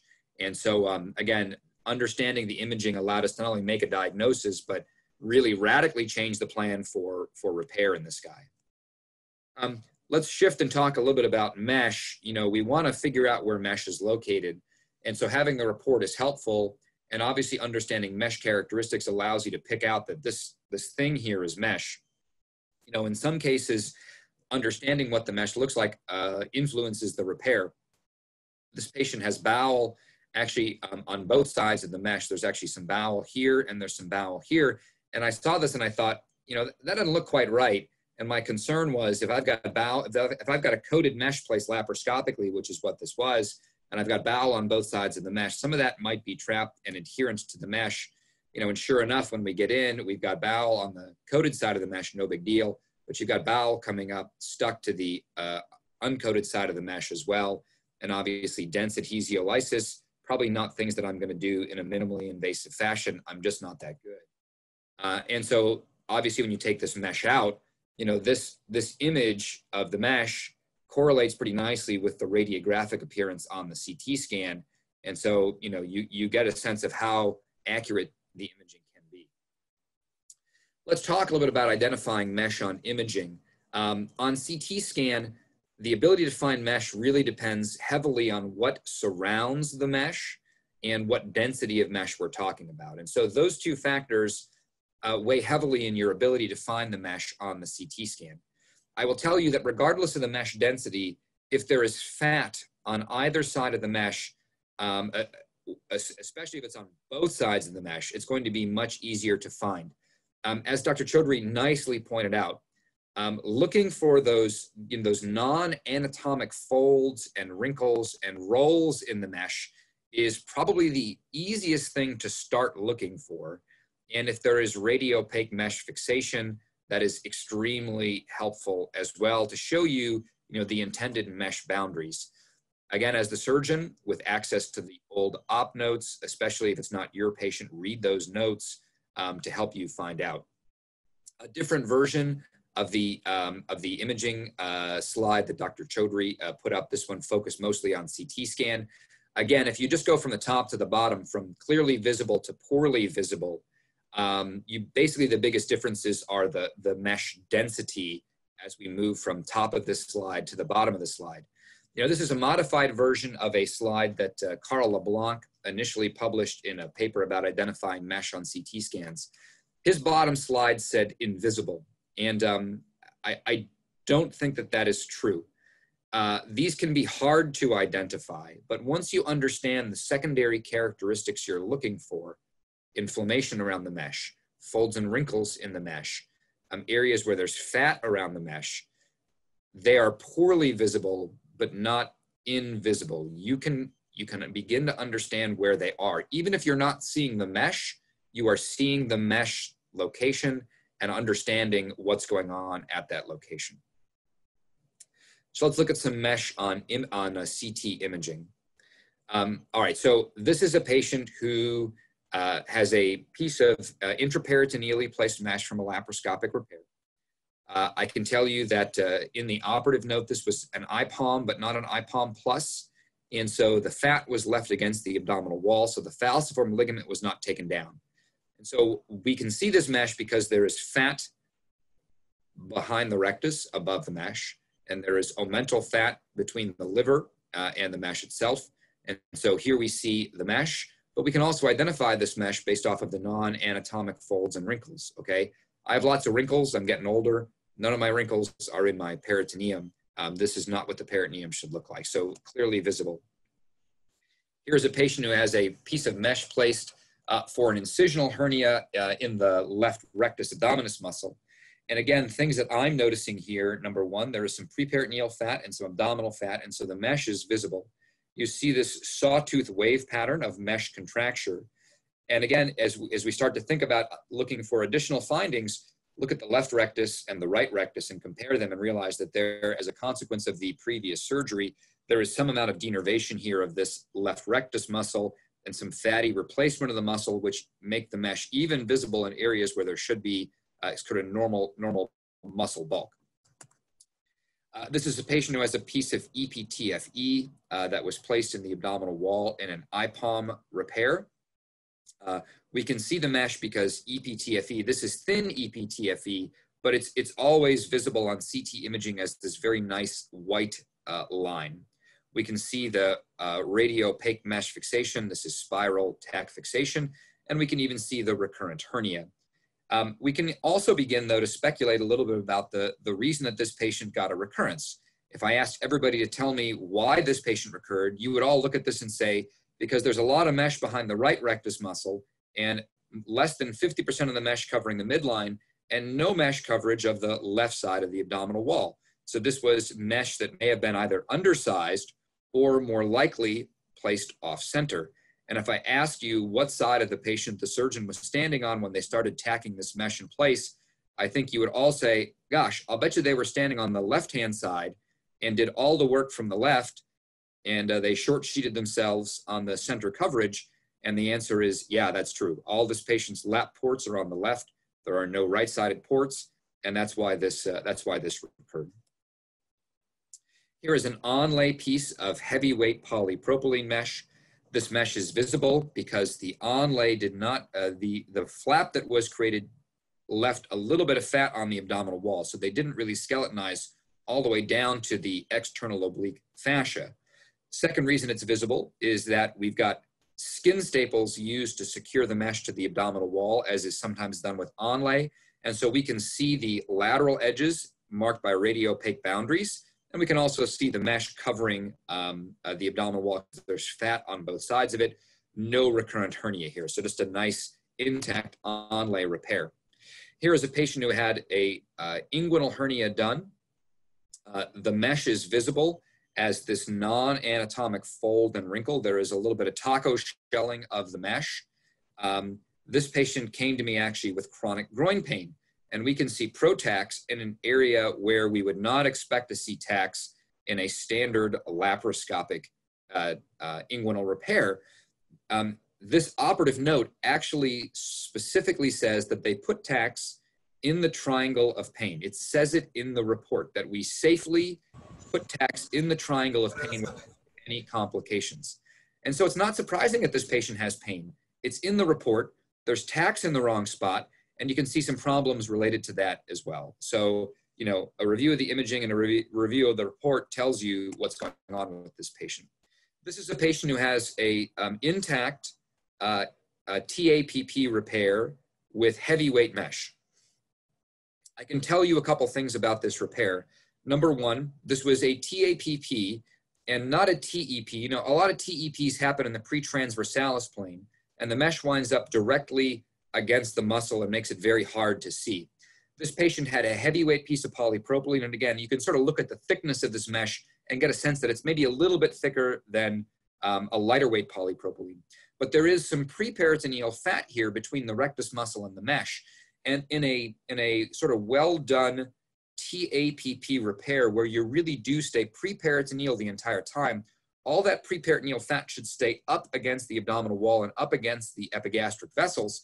And so you get a fat plane here that makes it visible. You're seeing intra-abdominal fat here. What you're not seeing, obviously, the peritoneum and the muscle, and the mesh itself, there's no distinguishing those two things, okay? They, they look the same. I can see two pieces of, uh, two radiopaque mesh fixation here, in a normal location. And I say normal because we can see the anterior superior iliac spine coming up and these pieces, these fixation are above the iliopubic tract. And so I know that this person put the tacks in the right spot. I can also tell you this is a TAPP repair because if I slide up just a few more cuts, I can actually see the fixation that was used to close the flap, all right?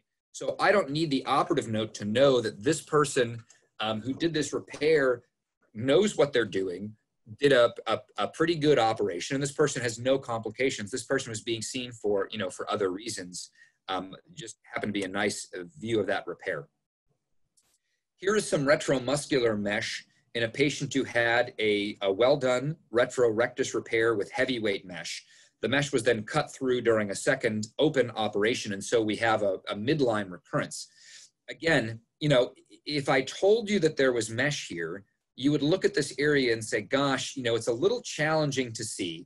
But as I think about it, the retromuscular space here does look a little bit thick. And what are these? Well, these are actually clips that were used to secure uh, and manage some bleeding in the retromuscular space. So this surgeon chose to clip a lot of retromuscular vessels as opposed to just, um, you know, just using cautery or ties. And so we begin to get a sense of here's mesh here, here's break in the mesh, and here's mesh on this side. So you begin to see it. Um, here's some mesh that just, I mean, it's just poorly placed laparoscopic mesh, probably undersized for the defect. There's fat on the wrong side of the mesh that probably was not taken down uh, correctly. Um, here's a report. Um, this is one of my patients, and this report said um, no evidence of recurrent hernia, uh, diastasis of the midline. All right. Um, again, this is a great example uh, of those non-anatomic folds and wrinkles that you can begin to see when you start to look for where mesh is located. And I'll tell you that this is, uh, this is a piece of um, 4-hydroxybutyrate. This is Phasix ST mesh that I put in as a planned bridged repair. So it just, it just spans the gap from rectus to rectus muscle.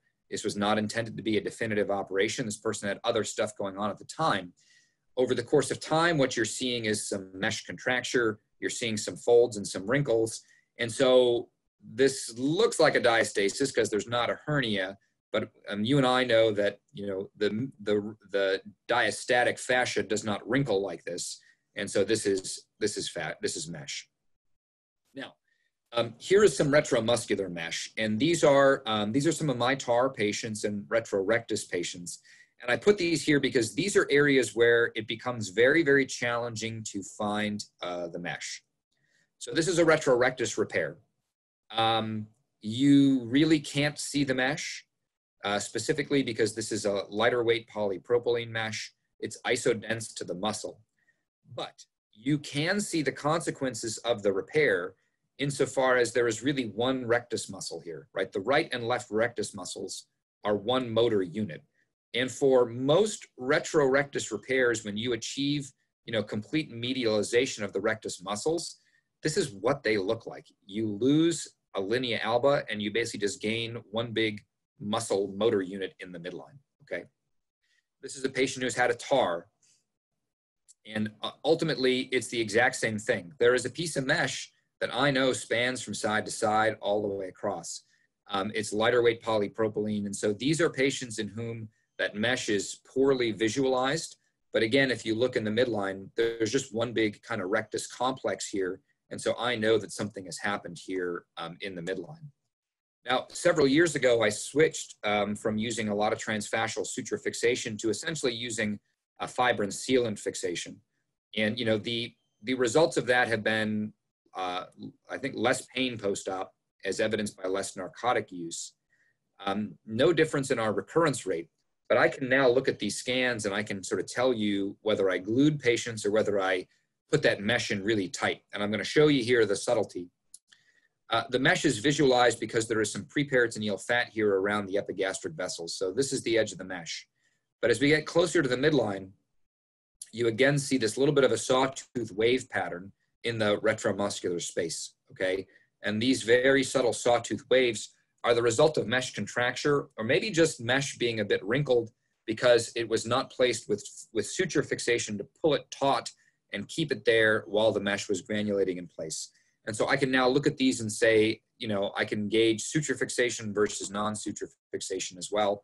Uh, different patient, a little bit of a higher cut up above. Again, there's just this kind of wrinkled, wrinkled view of the posterior rectus uh, sheet. You know, this this used to make me want to vomit uh, in terms of I always wanted the mesh to be super duper flat. But you know what? There's no there's no consequences to this. They don't develop recurrences, and so um, uh, I, I'm okay with the fact that radiographically it's not quite as you know perfect as it used to be. Um, I'll conclude the section here on mesh by saying that there are mesh manufacturers. Uh, I don't have access to these in the U.S. I don't know if you guys have these in India, but meshes that have you know um, metal uh, or titanium woven into them to make them visualized or visible on imaging studies. Here's an MR of uh, some of these visual, you know, these meshes that are visual meant to be visualized. Obviously, the MR image and this and the, you know, the photo image here correlate very nicely. These are very useful to determine not only where mesh is located, but to gauge, you know, mesh contraction and things like that over the course of time. I mentioned this earlier when somebody asked, like, you know, would I prefer an MRI or when are the times to get an MRI pre-op? This is that patient where, you know, sometimes things get missed. Uh, the arrow here is pointing out what is an abdominal wall fluid collection, which I basically just, I plowed right past this, okay? It looks like a loop of bowel. It's easily missed as a loop of bowel. This is a non-contrast CT image. This patient has no concerns for an infection, and I did uh, a robotic transversus abdominis release on this patient. I did the TAR on both sides. Uh, I reconstructed the floor. I was uh, busy closing the uh, uh, the uh, the ceiling and, and, closing the anterior fascia, and for the life of me, at the bottom edge of this, I could not make the sutures rotate through the abdominal wall. The needle just kept rotating out, and I said, like, I don't know what's going on here. Something is obviously wrong. I'm not happy with the fascial closure, so I'm I'm going to open and complete this as a hybrid repair. And when I opened, this is what I found uh, this orphaned piece of probably some biologic mesh, which I, I don't remember if I knew that that was there, but you can obviously see the, uh, the polyester uh, braided suture here with a big abscess around it, and this is uh, MRSA. And so, you know, we, we were kind of already committed to the TAR at that point. Um, you know, we took, I mean, I opened this on the back table, so we didn't spill a lot of this on the field. Um, and so we, we completed the operation as planned after a heavy abdominal wall debridement as well. Um, some final questions you can ask on the imaging study. You know, if there's a history of obstruction, um, I want to know if the hernia is the reason for the obstruction or if it's interloop adhesions or something else. Again, if I'm going to do a minimally invasive operation and not deal with anything except adhesions to the abdominal wall and within the hernia, I don't want to leave folks with the risk or, or you know leave them with a bowel obstruction at the end of the day. And again, this is very challenging, but I think if you are looking at it uh, um, with, with that in mind, you can find it. Um, this patient has a history of a radical cystectomy for a bladder cancer. And obviously, we know that the uh, urologists strip all of the posterior elements of the abdominal wall, generally from the umbilicus down, to take any uh, urachal remnants with them. And as a consequence of that, there's exposed muscle. And when muscle is exposed, bowel gets stuck to it. I think anybody can look at this loop here and say there is a loss of the normal anatomic fat planes between the rectus here and this loop of bowel. And knowing that this person had a cystectomy, I, I can assure you this is going to be very densely stuck. I'm not telling you that you shouldn't do this minimally invasively, but I am telling you that if you're gonna, you got to be prepared for that to be an area where you're going to spend a good bit of time, you know, taking down adhesions. I think if you go into that operation with that in mind, um, it's fine to do. Uh, this is a patient in whom we um, read his old operative note from his previous surgeries and recognized that he had had elements of the posterior abdominal wall uh, uh, uh, separated for his repair. What was done was the posterior rectus sheath was actually divided. This side's a little bit easier to see. You can actually see a clip kind of on both sides. They divided the posterior rectus sheath and actually flipped it outward leaving it attached to the linea alba to use as a fascial closure method for the midline, so kind of a trap door method.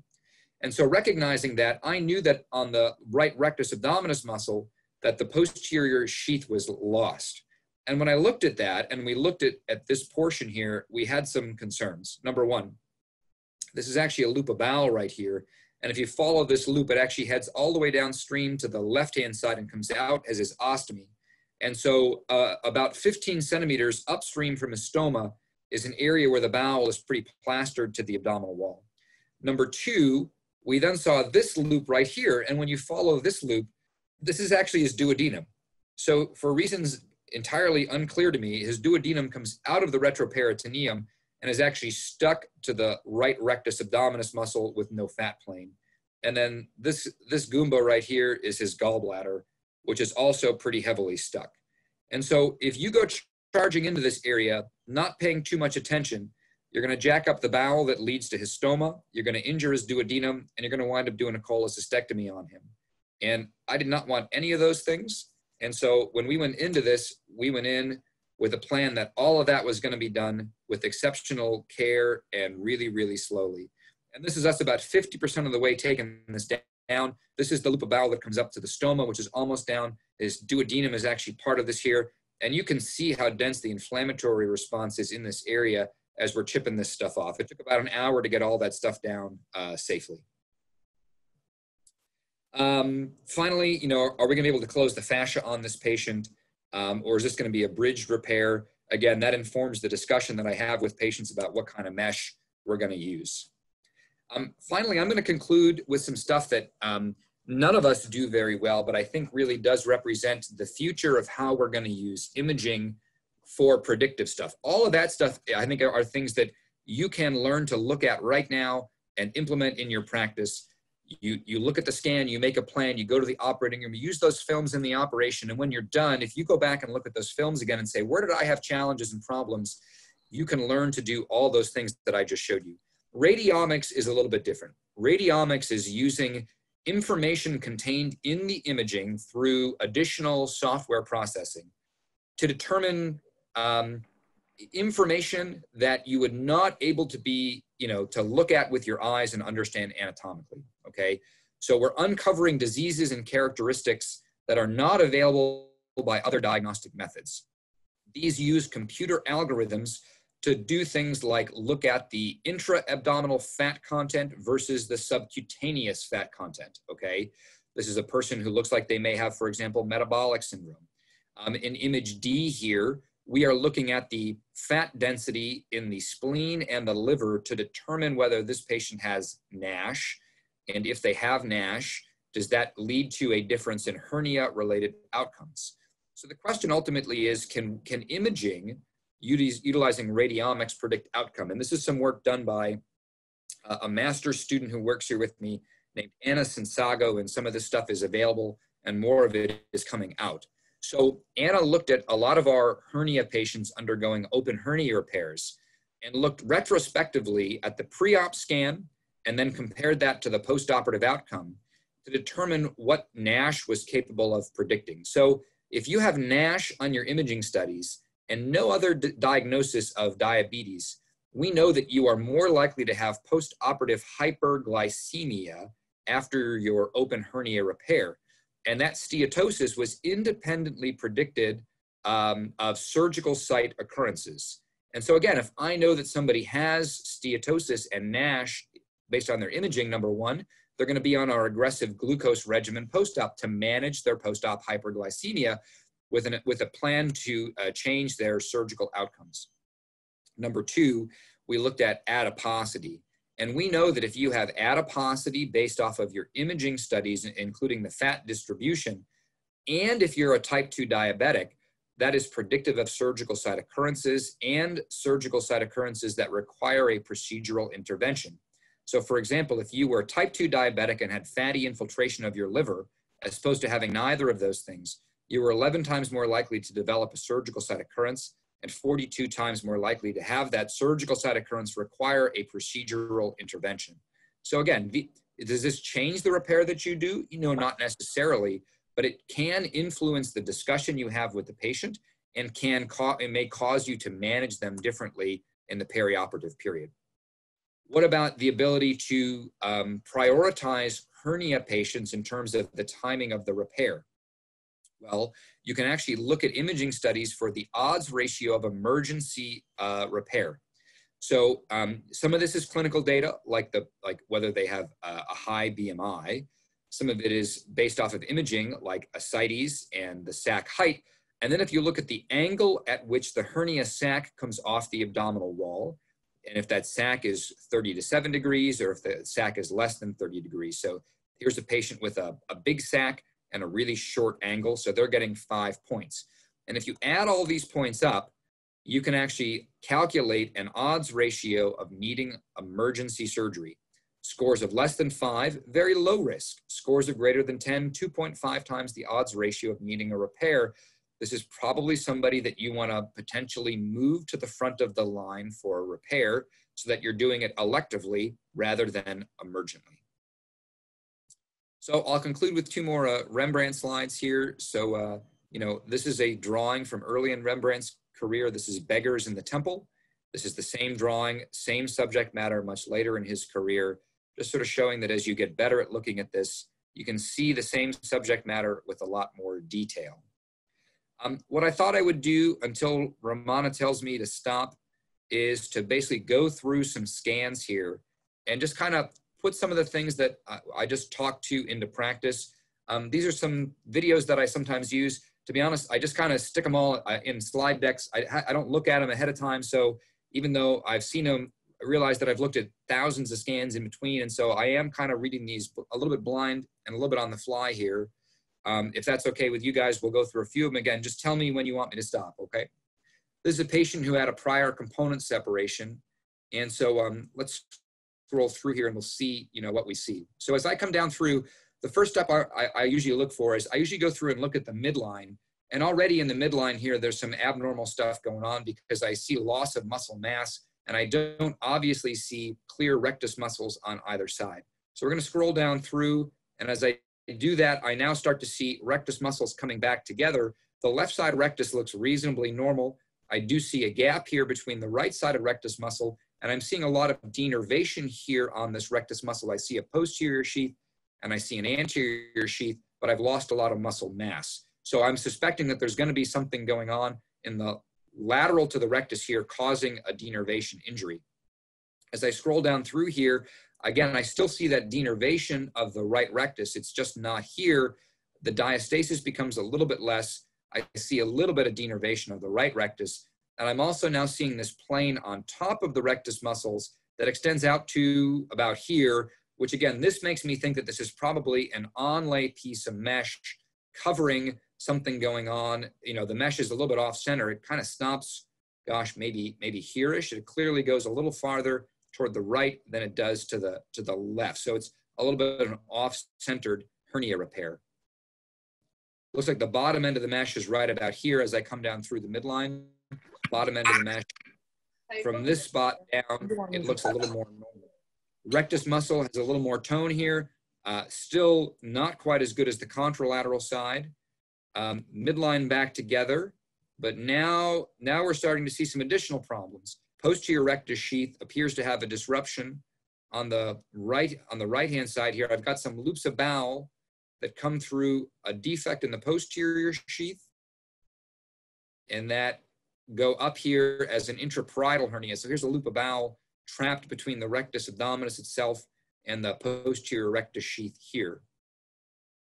Let's come all the way down through the midline. Rest of the midline looks okay. Now what I'm gonna do is I'm gonna look at the side that's going to be easier. I'm going to look at the left-hand side and I'm going to basically focus my attention from the edge of that rectus muscle all the way across. So this is now, now that I followed it up, I can actually see there's the rectus muscle here and gosh, it just kind of goes away. Here's rectus and midline here. So that rectus is really pulled off the midline. And so when I see that, I mean, this is the rectus abdominis here. Here's the transversus inserting on the costal margin.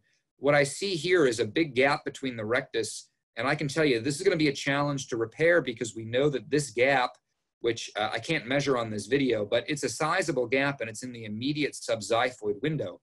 You can release all the components that you want. You're not going to be able to pull this costal margin over. And so as I look at this, I begin to get concerned that this area is going to be a bridged portion of this repair without the ability to bring the fascia or the muscle back together. And so as I start thinking about this, I'm thinking that this is a person who I'm going to talk with the possibility of heavyweight mesh as we move through, okay? Let's come down the rest of that left-hand side here and look. You know, the rest of that rectus, it, it doesn't look too bad. Um, we do lose the posterior rectus sheath though right there. If you look, that Spigelian type problem we see on the right is mirrored here on the left-hand side. Look at that, look at that rectus, that posterior sheath, it just kind of vanishes. It kind of vanishes. And so there's going to be some sort of defect in that left-sided sheath, even though there's no bowel trapped there as well, okay? But the rest of that left side looks okay. The lateral muscles look okay. Transversus, internal oblique, external oblique, no injuries to the semilunar line. Let's go back and do the same maneuvers now on the right-hand side. Let's go all the way up top. Actually, let's start at the bottom because the abdominal wall is not too bad on the bottom here. Let's follow that rectus up. So I'm just looking at the rectus you know, it looks reasonably normal in its um, innervation. Again, though, if you compare very subtly, the muscle bulk on the left and the right are different. And so even though there's, there's muscle here, there probably is still a component of that denervation injury that we see higher up extending down. Muscle becomes a lot more denervated. Here's that posterior sheath defect. Let's go up more. Now it's a ghost. And as we head up more, what do we see here? There's something clearly abnormal going on. Let's pause it right here. So what I'm seeing now is um, another intraparietal defect. I see a gap in this uh, denervated rectus. This is rectus muscle here and here, and there's a gap. And there's colon, it looks like going up. And that colon is trapped either below the external oblique aponeurosis here or potentially trapped below the mesh that covers this. And so this is a, true intraparietal defect here that extends all the way up top through this kind of ghost of a rectus muscle. And again, as we get up top here, this is the rectus. It's denervated all the way up top here through. Here's denervated rectus. Here's a widened midline hernia versus diastasis to a rectus on this side. So there's on the right-hand side, there are several intraparietal defects with bowel uh, trapped. Let's look at the lateral musculature now. And again, since it's kind of goofy here, let's go all the way to the bottom. And let's just follow the lateral muscles and let's keep an eye on the semilunar line as we head upward. And let's take a look. So the rectus muscle, the lateral muscles look okay. Again, we've got mesh, external oblique, transversus, and internal oblique. And as I look at this section of the scan right now, one of the things that I notice is let's follow the medial extent of this external oblique muscle. And let's realize that that external oblique muscle seemingly stops right about here. Certainly the internal oblique muscle extends more toward the midline and the transversus extends all the way behind the body of the rectus uh, as it should normally do. Let's look at this and let's draw a line between where this external oblique is and let's just cross the midline and say, hey, you know what? On the contralateral side, that external oblique not only comes a lot more medial, but still inserts on the rectus right here. And if you look at it, it's very flat and not particularly balled up. And over here, it's a lot more, it's a lot thicker and a lot more balled up. This is a suggestion to me that this person had a, an external oblique release done unilaterally. If they intended to do both sides, they didn't do it on the left-hand side. So regardless of what the op note says, they definitely didn't do it if we follow this semilunar line all up and all the way down, we're going to see that the external oblique still inserts here. On this side, it does not. Now, they appropriately covered this with mesh, okay? So let's follow this area back up because there's that, there's that hernia up here. And we want to now look at this and say, gosh, is that a full thickness semilunar line injury? Or is it that defect in the posterior rectus sheath going through the muscle itself? So let's follow this up and let's take a look and see Where's the semilunar line? It's right here. So this hernia that we already looked at actually happens medial to the semilunar line. So the semilunar line is intact. The uh, internal oblique inserts here still. There's mesh over this. So that hernia that we looked at is truly through the rectus muscle itself. Let's keep going up and let's look right here. Okay. We've got a problem right here that is clearly not on the other side. And let's put that in context of what we already discussed.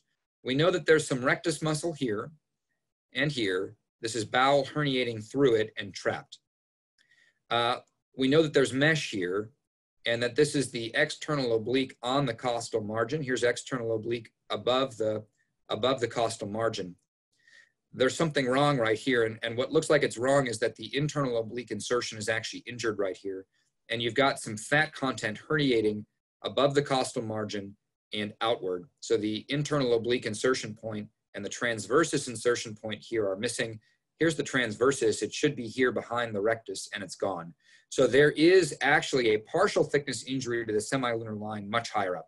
So this person's entire right-hand side is a series of complex, you know, full thickness and partial thickness defects that are um, all likely related to some component separation operation, okay? And I, I think what you need to understand by looking at this is you're, you're gonna need to do a sublay repair that extends extremely widely above and below and lateral to all of these defects. There's some stuff happening on the left that's really not nearly as complex. There's not a lot of midline stuff either. Um, and in the upper abdomen, you may or may not be able to close this defect entirely, okay? So challenging series of complex, um, complex injuries to the, uh, to the contralateral side.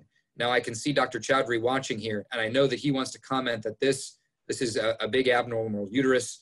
There's a bunch of other stuff going on here that bears a discussion because if you ignore the fact that there's a uterine lesion here, you know, you're going to fix this, and then a few months later, this person needs their uterus taken out. So there's other important stuff that your radiologist is going to read on this film um, that is related to your repair, but not the primary things that you're thinking about, you know, when you look at this, okay? Let's do another. Uh, this is a patient who uh, has a right inguinal hernia, okay? And so again, I'm going to do a very quick review of the midline. I'm just looking to see what's going on. So there's an umbilical defect right there. I like to note if there are umbilical hernias in my inguinal hernia patients. Again, um, I'm, I'm a person who does TAPP repairs. I generally use that to get in. In an era of robotics where ports are placed higher above the umbilicus, uh, you have to think about how am I going to fix that? If I put a port above this, um, am I going to do that as a separate, you know, kind of fourth incision, or what am I going to do to manage that? Um, part of one of the reasons why I still like doing lap repairs. So um, no, no ventral defects beyond that small umbilical. Now, one of the things I'm noticing here as we get down to the bottom part of this is well above the inguinal canal, I already see bowel uh, outside the abdominal confines. And as I'm looking at this, this has some of the hallmarks of a Spigelian hernia, right? I've got a line here, which is the external oblique. I've got internal oblique and transversus here, and I've got some bowel trapped um, in this area. And uh, this is a person whose inguinal hernia was deemed to be irreducible, which is why they were urgently imaged. As we scroll down a little bit, we can actually see here is the, here's the defect.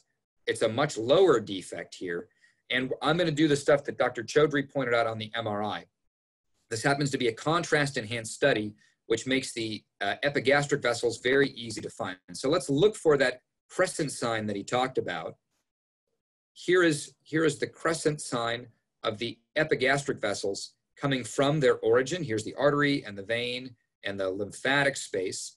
And let's follow those as they head up to the abdominal wall here to become the uh, epigastrics. We see content, and if we look at that content, the content of this is coming out lateral to those epigastrics, okay? Content arches over and it comes out lateral. So this has elements that make it look like an indirect hernia. But let's follow the content now. We already know it goes upward on the abdominal wall, which is kind of characteristic of a Spigelian type defect. But as we follow this down, we also see content that extends below and actually comes down into the inguinal canal as well. I didn't do the metrics here, but if you do that, if you do that pubic tubercle stuff that we showed, you're going to see there's some fat content here, and you also have some bowel content at this level. This is a defect that I, we don't characterize very well. This is a, a Spigelian type uh, inguinal hernia, okay? There are these folks who have a very low insertion of the arcuate line. And these are things that are kind of halfway between a Spigelian and an inguinal. You will see contact that, that does come out through the, um, in, it goes through the internal ring uh, and comes out as a uh, indirect hernia. You'll sometimes see content that only goes up above the external oblique, and sometimes you'll see content that tracks down into the inguinal canal, and sometimes you'll see both of those.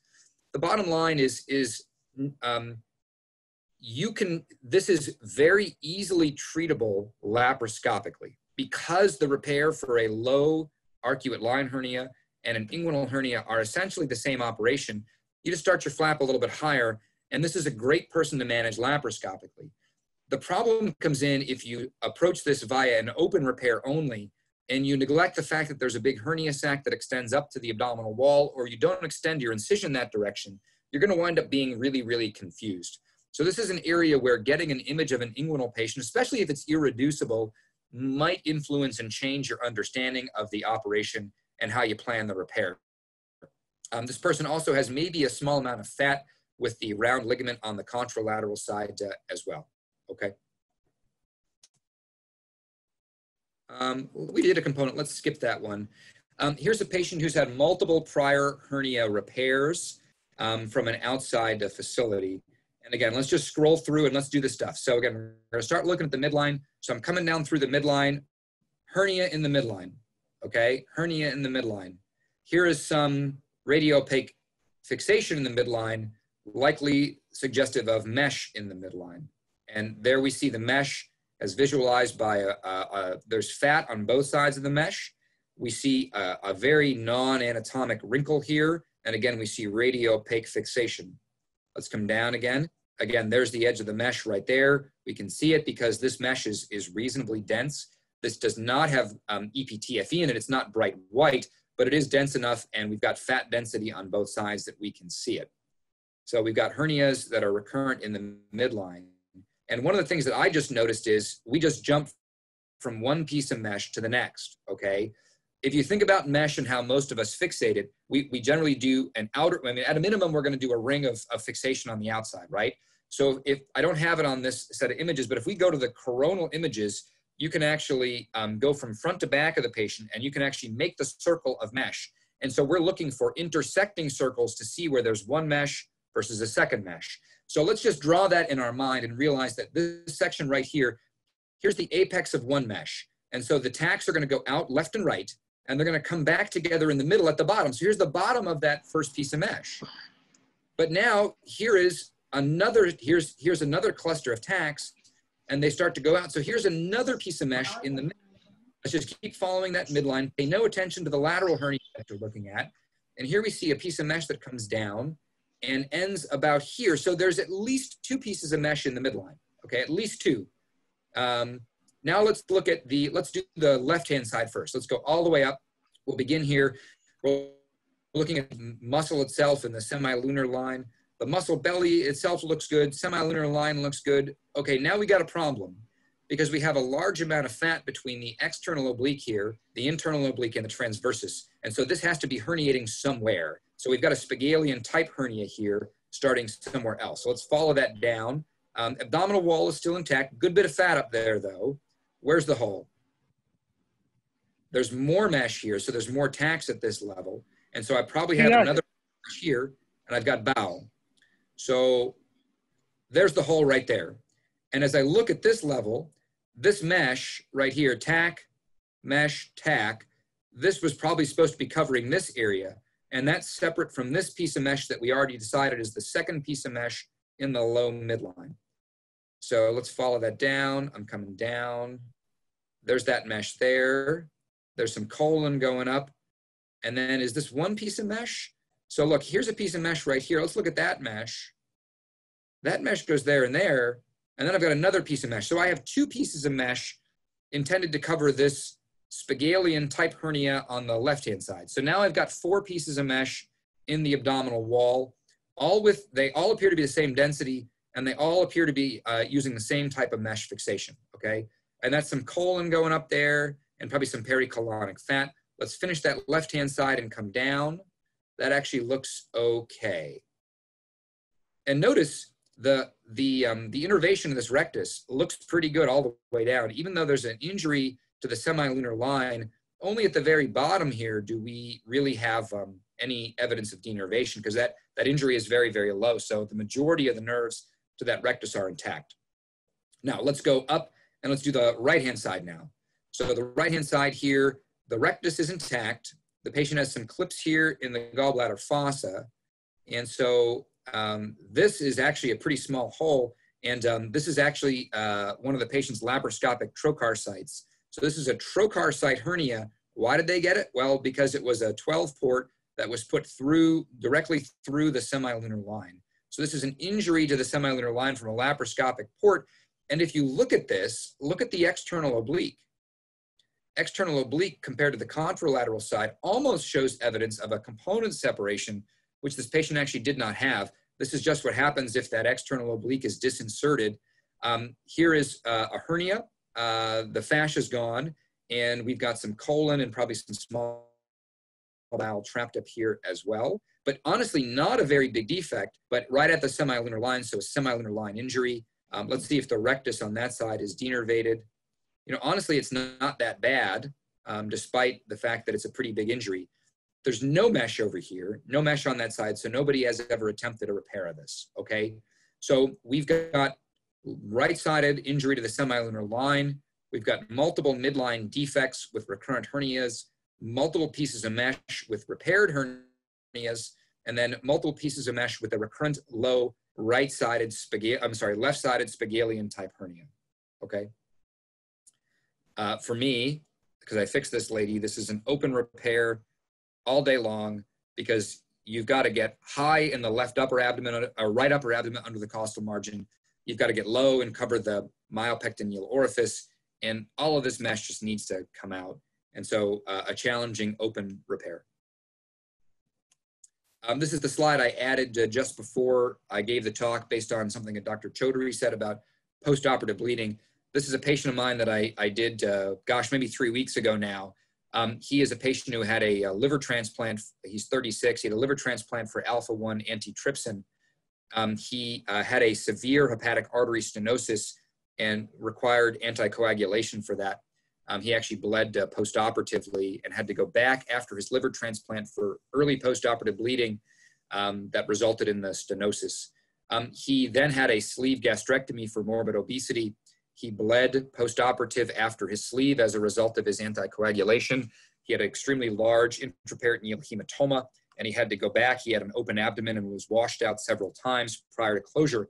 Um, I then saw him. He had a midline and a lateral defect, lateral defect from the transplant on the right hand side, midline defect from the X-lapse for bleeding after his sleeve.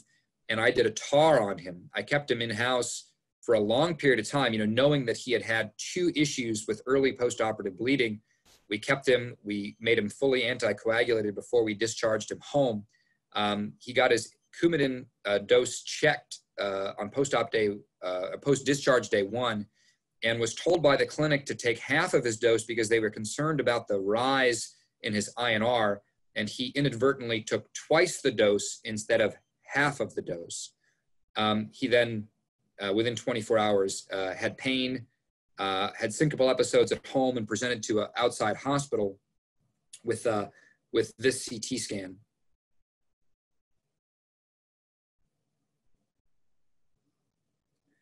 So I added this because I wanted you to see what Dr. Choudhury was speaking about on a CT scan, which is that you can, when there's acute bleeding, you can see the layering and the layering density between clot and things that are more simple fluid that have not clotted yet. You can also see on this patient a small area of some active extravasation um, in the posterior layer here uh, where is right here, there's a little area of some what's being called active extravasation, okay? And again, this is easy, this is a little bit easier to see because this was a contrast enhanced uh, imaging study. So um, this guy actually, even though he was having syncopal events, waited at home almost 36 hours before going to the hospital. And um, he got stabilized and transferred to us. And I wound up uh, taking him back, even though he was hemodynamically stable, uh, I knew he was going to need to be re-anticoagulated, and he's a transplant patient. And the risk of this thing becoming a gigantic seroma and taking years to resolve weighed on my mind. So I went back. We did we did a laparoscopic washout of this. We got uh, three and a half liters of clot and other stuff out. We left some drains. We gently re-anticoagulated him, and, and so far he's been okay. But I'm not pulling the victory card yet because this guy's super nice, but I don't trust him as far as I can throw him to not bleed again. Um, Ramana, how many more do you want me to do? Uh, I'm only a humble panelist, uh, so I'll leave it to the moderators to decide. Maybe one for the road. All right, uh, let's see what I got here. Uh, okay, let's do this one. This one's good. Um, this patient uh, uh, this patient lives in Delaware, which is about two hours from uh, from where I'm located, um, and he, um, he, he's a he's a pretty big guy. He got a like a viral URI, and he had some coughing, and he uh, presented to the hospital with some pain and uh, an acute bulge.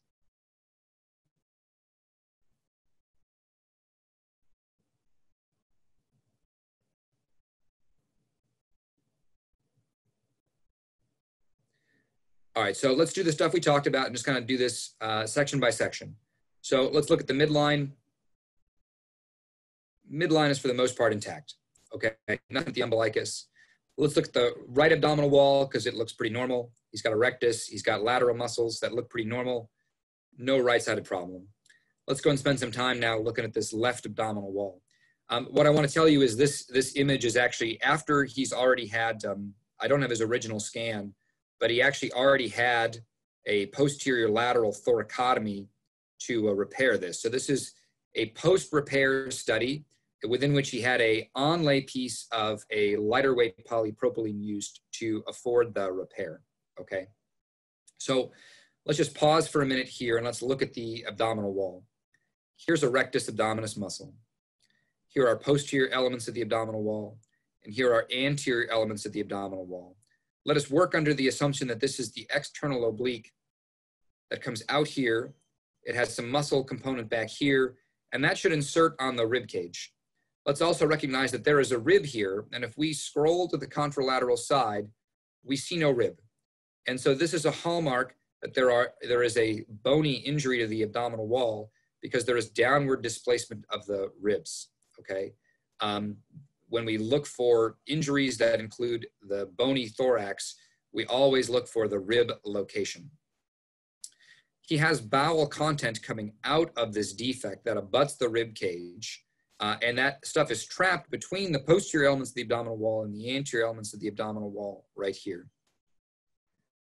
Let's go up a little bit and let's realize that higher up here on the abdominal wall, we see a similar pattern, albeit a little bit more challenging to uh, interpret again, if you look at the ribs and think about what should they look like, we start to see things that look abnormal. I see one rib, two rib, three rib. I see one rib, two rib, three rib. There's a problem here. And again, there's downward displacement of some of the uh, bony elements of the, of the rib cage. He's got spleen that's trying to join the party here, coming outward. We see similarly the, the, uh, the displacement of the anterior and the posterior elements of the abdominal wall and now we start to see elements of denervation. Here's a normal rectus, and here's a rectus that is not normal any longer. It is beginning to be denervated because all of those, uh, because the uh, intermuscular plane has been disrupted and those nerves have been divided. We see bowel content coming through. As I start to get higher up here, what I'm going to start to look for and understand is, is there an element of this that includes the diaphragm? So if we look for where the diaphragm is on this, it's going to be challenging to find. Here's the transversus abdominis. Here's the rib cage here. Here's some bony elements of the abdominal wall here, and there's more bony elements down here. And what I now understand is, you know what? There's a gap here, and this gap is actually between the ribs. So there is an intercostal component to this hernia. What is keeping this thing from being a true hernia is the fact that the diaphragm is intact here. And it's intact because in the old operative report, they actually repaired the diaphragm itself. So there's no diaphragm injury here. Here's the diaphragm intact. They did put some mesh in the abdominal wall. And if you actually look, this is actually the mesh right here. I told you it was a lighter weight polypropylene product. It's these non-anatomic folds and wrinkles that sort of tell you that there's some mesh here. This is the external oblique on the upper portion of the abdominal wall becoming the latissimus and the serratus where they insert. Again, there's content herniating above them, but those outer elements are intact.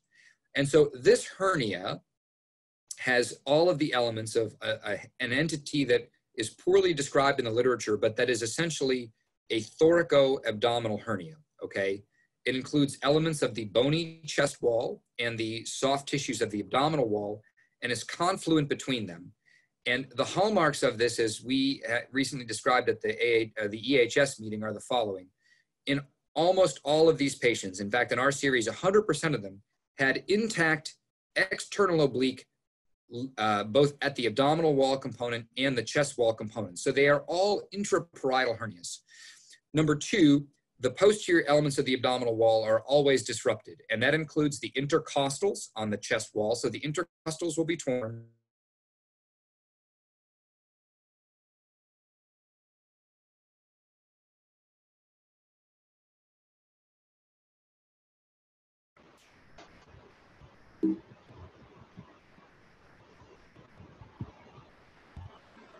Eric, can you hear us?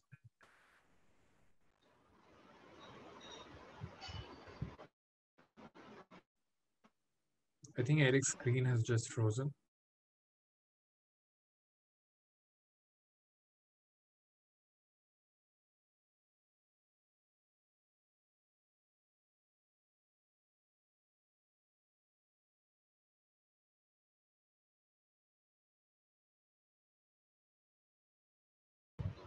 Think Eric's uh, dropped out of the meeting. There may be a connectivity issue at his end. Um, it's a connectivity issue, uh, obviously. Yeah, and he's back. Super. Yeah, good. Hey guys, sorry I got kicked out there. Um, so I was just saying that uh, this requires, you know, careful consideration for, um, you know, for reconstruction of the abdominal wall.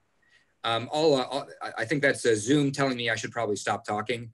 Um, with that, I'll be, you know, be happy to answer any questions that uh, that you guys have.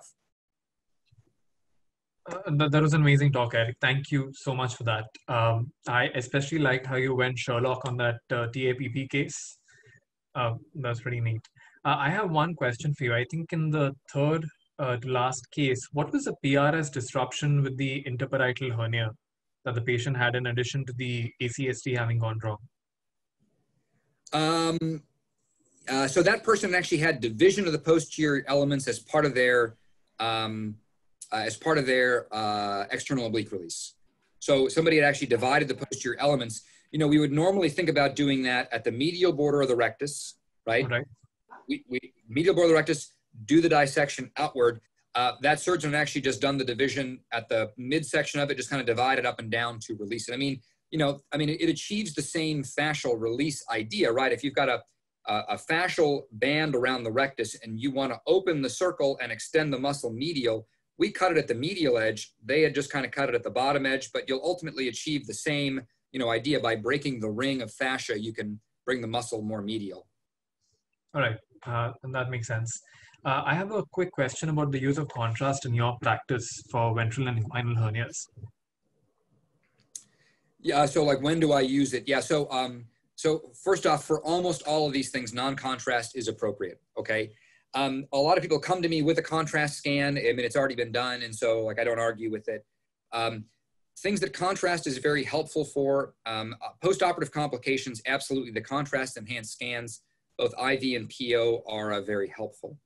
Um, if you are looking for um, fluid collections, things that should not enhance with contrast, like that abscess case that I showed you, if that patient had had PO and IV contrast, you would have absolutely seen a soft tissue mass there that uh, was clearly not the bowel. And so that's part of why that was missed because it was, um, you know, because it was a non-contrast scan.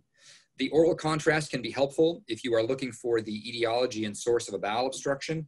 And again, you know, in those circumstances, a lot of patients already come to me with a scan, you know, done at their, um, you know, local facility while they were having an obstruction. And so they already have the contrast and we can sort of look, you know, and scroll through it's you know it's pretty uncommon for me to meet somebody in clinic who already has a CT scan and say I'm gonna redo this with contrast for the following reasons.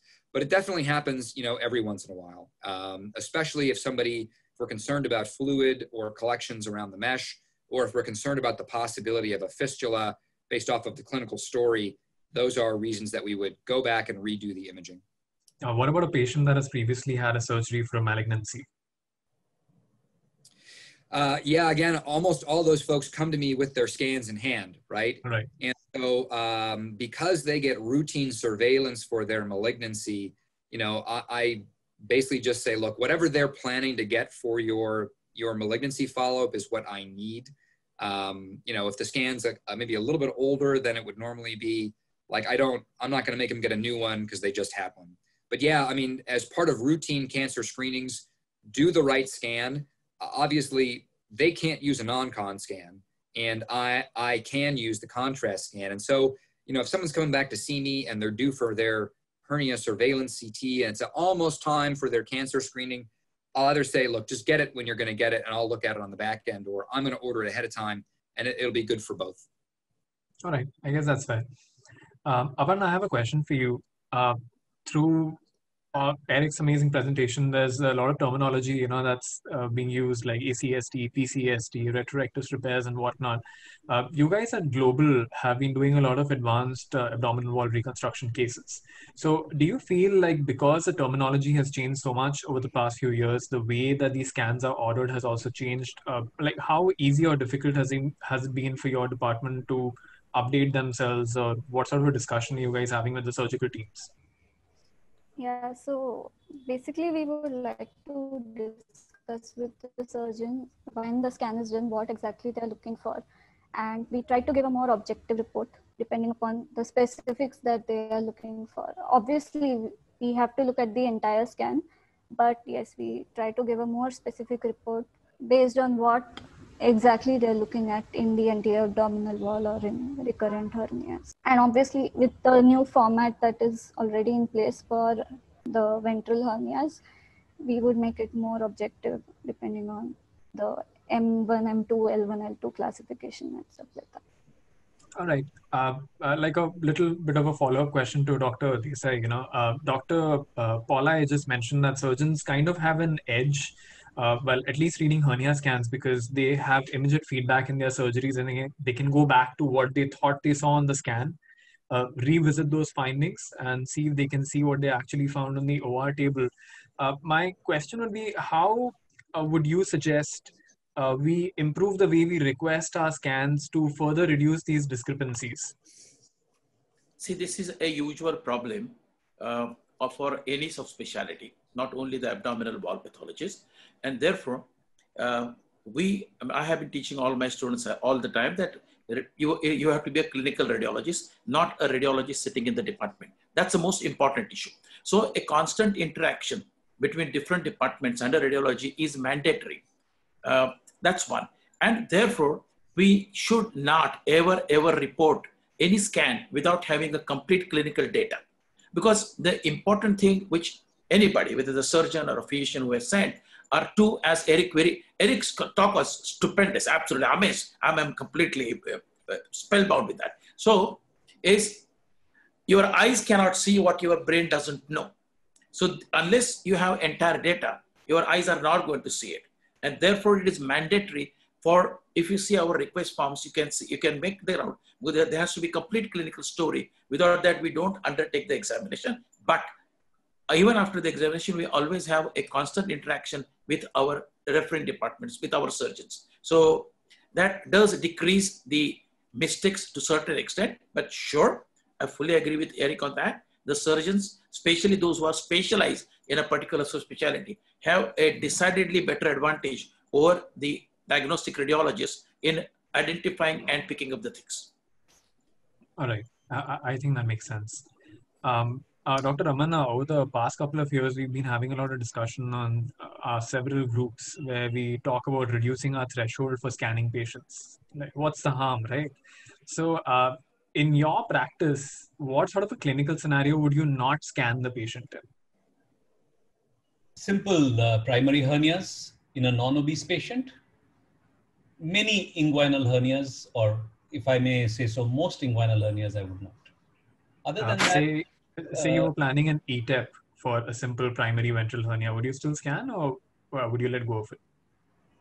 Mm, I typically do for documentation purposes, uh, for academic purposes, but uh, I would totally understand if somebody did a repair of some sort, minimally invasive or open, uh, in a primary hernia without uh, the patient being obese. I mean, I think that would be all right. All right. Uh, there's a question from uh, Dr. Sanjay Sonar. Any one of you guys can uh, pick up on this. Uh, can you comment on adhesions on the basis of a CT scan? I, I think the most appropriate person to answer this question should be Eric. The answer is right. yes, but let Eric opine on that. All right, sure thing. Uh, Eric, can you hear us? Hey, sorry guys, my uh, my partner actually popped in uh, to ask me to uh, review a CT scan with him on a hernia patient. Uh, That's good timing. I, I, was going to try and sneak it in while, while you guys were talking. I apologize. I'm, can, can, somebody repeat the question? Yeah. Uh, so there's a question from uh, one of the attendees on the webinar as to can you comment on adhesions based on CT? Yeah, you know, again, um, as um, as was said previously, you know, your eyes uh, can't, you know, your brain can't see what your eyes, you know. How did you say it? It was it was a good. I was going to write it down, and then I then I got sidetracked. Eyes cannot see which your brain doesn't know. There you go. So uh, you know, so again, like if you already know that somebody had dense adhesiolysis, right, in the op report, or you did the operation yourself, or you know that elements of the abdominal wall were already resected, when you scroll through that scan, you're looking for some of the hallmarks loss of a fat plane between the abdominal, you know, uh, between the viscera and the abdominal wall itself. You guys have all seen the scan of somebody who's got this nice curtain of omentum covering everything. And you know, you know what? Even if that stuff is stuck, it's not a big deal. It's omentum. And then there's that patient, you know, who's got that scan where the duodenum is being pulled up out of the retroperitoneum and is essentially one with the rectus muscle. And, and then, you know, lots of things in between. You know, you will see areas on scans where you'll see one loop of bowel that kind of comes up to the abdominal wall. Everything is clearly free. And there's a focal spot where you say, yeah, like that's going to be an area where there is a band-like adhesion. Um, and so I think that the easiest way to get good at looking at this is to, um, before you start the operation, look at those areas and kind of plot out in your mind. You know, the left side of this is going to be easy because there's a bunch of fat in the left upper abdomen. The right lower quadrant is going to be challenging because there's a bunch of, you know, there's there's loss of the fat planes there. And then just convince yourself that as you're doing the operation that you're seeing the things that are on the scan. And if you get to a spot where there are a lot of adhesions in the operation, just pause for a minute and stop and look at the scan and kind of solidify the view of what that looks like from your operative view and the scan. And the next time you see it on the scan, you will have that frame of reference, right? Um, it's not always 100% uh, predictable. Um, you know, uh, I'll give you an example. Uh, I always use my scans to tell me where I should get into the abdominal cavity. Okay, so I, I look at that scan and I say, in this patient, upper midline, eight centimeters below the xiphoid is an area where there's clearly a free fat plane. Okay, so I did that on my yesterday's patient was a redo redo peristomal hernia that I did open. And we went 10, it was like 15 centimeters below his xiphoid was an area where there was a clear fat plane to get in. Um, and so we, uh, we opened, we found his mesh, we divided the mesh, and immediately below us was not fat, but was actually a loop of small bowel. Well, the thing was that loop of small bowel was completely free. It wasn't attached to anything. And so the reason that there wasn't fat there now versus fat there earlier was that the omentum in the bowel had moved. And so even though we picked a spot that we thought was going to be safe to get in and there was bowel there, it was still safe to get in because it was either going to be fat that was stuck or everything is totally free and moving around. So you can make some predictions based off of you know those types of uh, those types of findings. All right. Um, there's another question coming to you from Dr. Dalvi in Bombay. Uh, he's asking about the post uh, liver transplant uh, retromuscular hematoma case. Um, he's wondering if any other option would have worked apart from TAR, uh, especially with the history of bleeding and because TAR is such an oozy surgery. Um, yeah, I mean, potentially. You know, the problem was he had defects from M1 through M4 in the midline. Uh, he had an L1 on the uh, left hand side, and he had an L1 and an L4 on the right hand side. So, I mean, yes, potentially, but it would have been a challenge. You know, again, we, we operate on people who require anticoagulation, including TAR based operations, pretty commonly. And while it is a very raw surface, you know, I, again, most of this is not named vessel bleeding, fortunately, right? These are generally small areas of ooze. I mean, we we took extra time during the case to make sure that the um, uh, the the muscle was not bleeding. I typically use uh, fibrin sealant, as I said, to secure the mesh, which has some hemostatic properties, and we manage his anticoagulation as slowly as possible. Um, I've had, you know, I mean, in my career of doing TARs like this, I've had several retromuscular bleeds. Uh, most of them are people who had to go back on high dose anticoagulation immediately post op, like heparin drip for a high risk valve within the first, you know, within the first day, um, a little more likely to bleed. Um, You know, I, unfortunately, I'm a believer that TAR is a good operation for these folks. It's uh, it's got a very low recurrence rate um, albeit in this patient, he had a complication that hopefully doesn't affect his long-term recurrence. All right, that's a great answer. Thank you. Um, Aparna, uh, have you ever seen a ventral hernia CT and just called the patient back for an MR? This is a question from uh, Dr. Shinde in Nasik.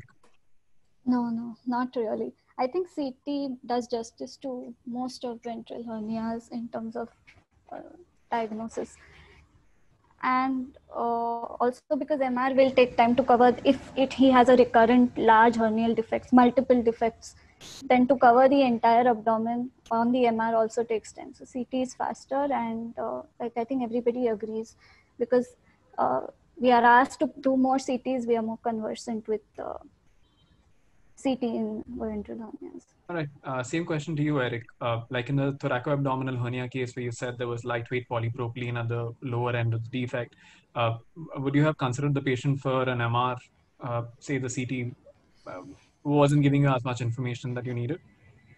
Uh, you know, I mean, sometimes just knowing that there's mesh in there is enough. So if I have the report that says, you know, mesh was placed, um, that is enough for me to say, like, hey, you know, I'm going to have to be cognizant of that fact during the operation. And I think the role where mesh comes in is if people have had operations where they think maybe mesh was used, maybe not. Uh, we don't have the operative note to answer the question definitively. We've got an imaging study that is kind of wishy washy. And that determination would really potentially alter the plan for surgery. And I guess what I would say is if you found mesh and said to yourself, I'm not going to take that out with an MIS approach because it's a big sheet of mesh and there's going to be a chore, then yeah, maybe in that circumstance, the, the imaging would alter the outcome of what you do, right? You know, as every radiologist will tell you, don't order, I mean, don't order a test or an imaging study if it's not going to affect the ultimate outcome of your plan. And so if knowing the exact location of the mesh changes the plan, then sure, go for it. If it's just to find out is there mesh there, I probably wouldn't do it for that purpose. There isn't enough value in the scan then. I mean, I don't, I think, I mean, if you already have imaging, no, I don't think it's going to augment the imaging that you have enough. If you don't have any imaging and you're picking your first imaging modality, then sure. I mean, why not get the most bang for the buck and pick an imaging modality that is likely to show you, you know, is there mesh? Where is the mesh? Stuff like that. All right. Uh, there's a follow-up case for your hepatic, uh, follow-up uh, question for your hepatic transplant case. Uh, what's your uh, uh, practice for leaving drains behind in patients on anticoagulants? For leaving? drains after a TAR? yeah, I mean, I, I, I, have, I have never done it, not once. Never left a drain behind? Oh, a, a drain. I'm sorry. I thought you, I apologize. I thought you said a greenfield filter. Oh yeah, so I um I I universally leave drains behind after TAR and retromuscular operations. If it's a very small, very quick retromuscular operation, and I think they're going to leave within 24 hours, I don't. For my robotic TARs, because many of them leave within 24 to 36 hours, I don't. Those operations tend to be a bit less um, oozy in general for a reason that I can't necessarily articulate. You know, we do know that the literature on comparing open and robot TARs um, was a higher incidence of surgical site occurrences, but that, in, that difference in surgical site occurrences was all retromuscular seromas, and that difference was likely related to the difference in drain versus no drain, right? So uh, they were all asymptomatic and didn't require procedural interventions, and so I think it's just a, a, a practice management strategy. Um, I generally leave one after a TAR, and I universally take it out before the patient goes home, which is usually like day three is kind of like average discharge right. day, like three and a half. And, and I used to care very greatly how much was coming out. And if it wasn't less than 30 a day for two days, I would leave it. And then I went to 60 for two days. And then I said, uh, what's the difference between 60 and 100? And then I said, no, what if it's more than 100? And now it's kind of like, look, there's not a lot coming out. We know you don't have to leave these things anyway. We got the vast majority of it out.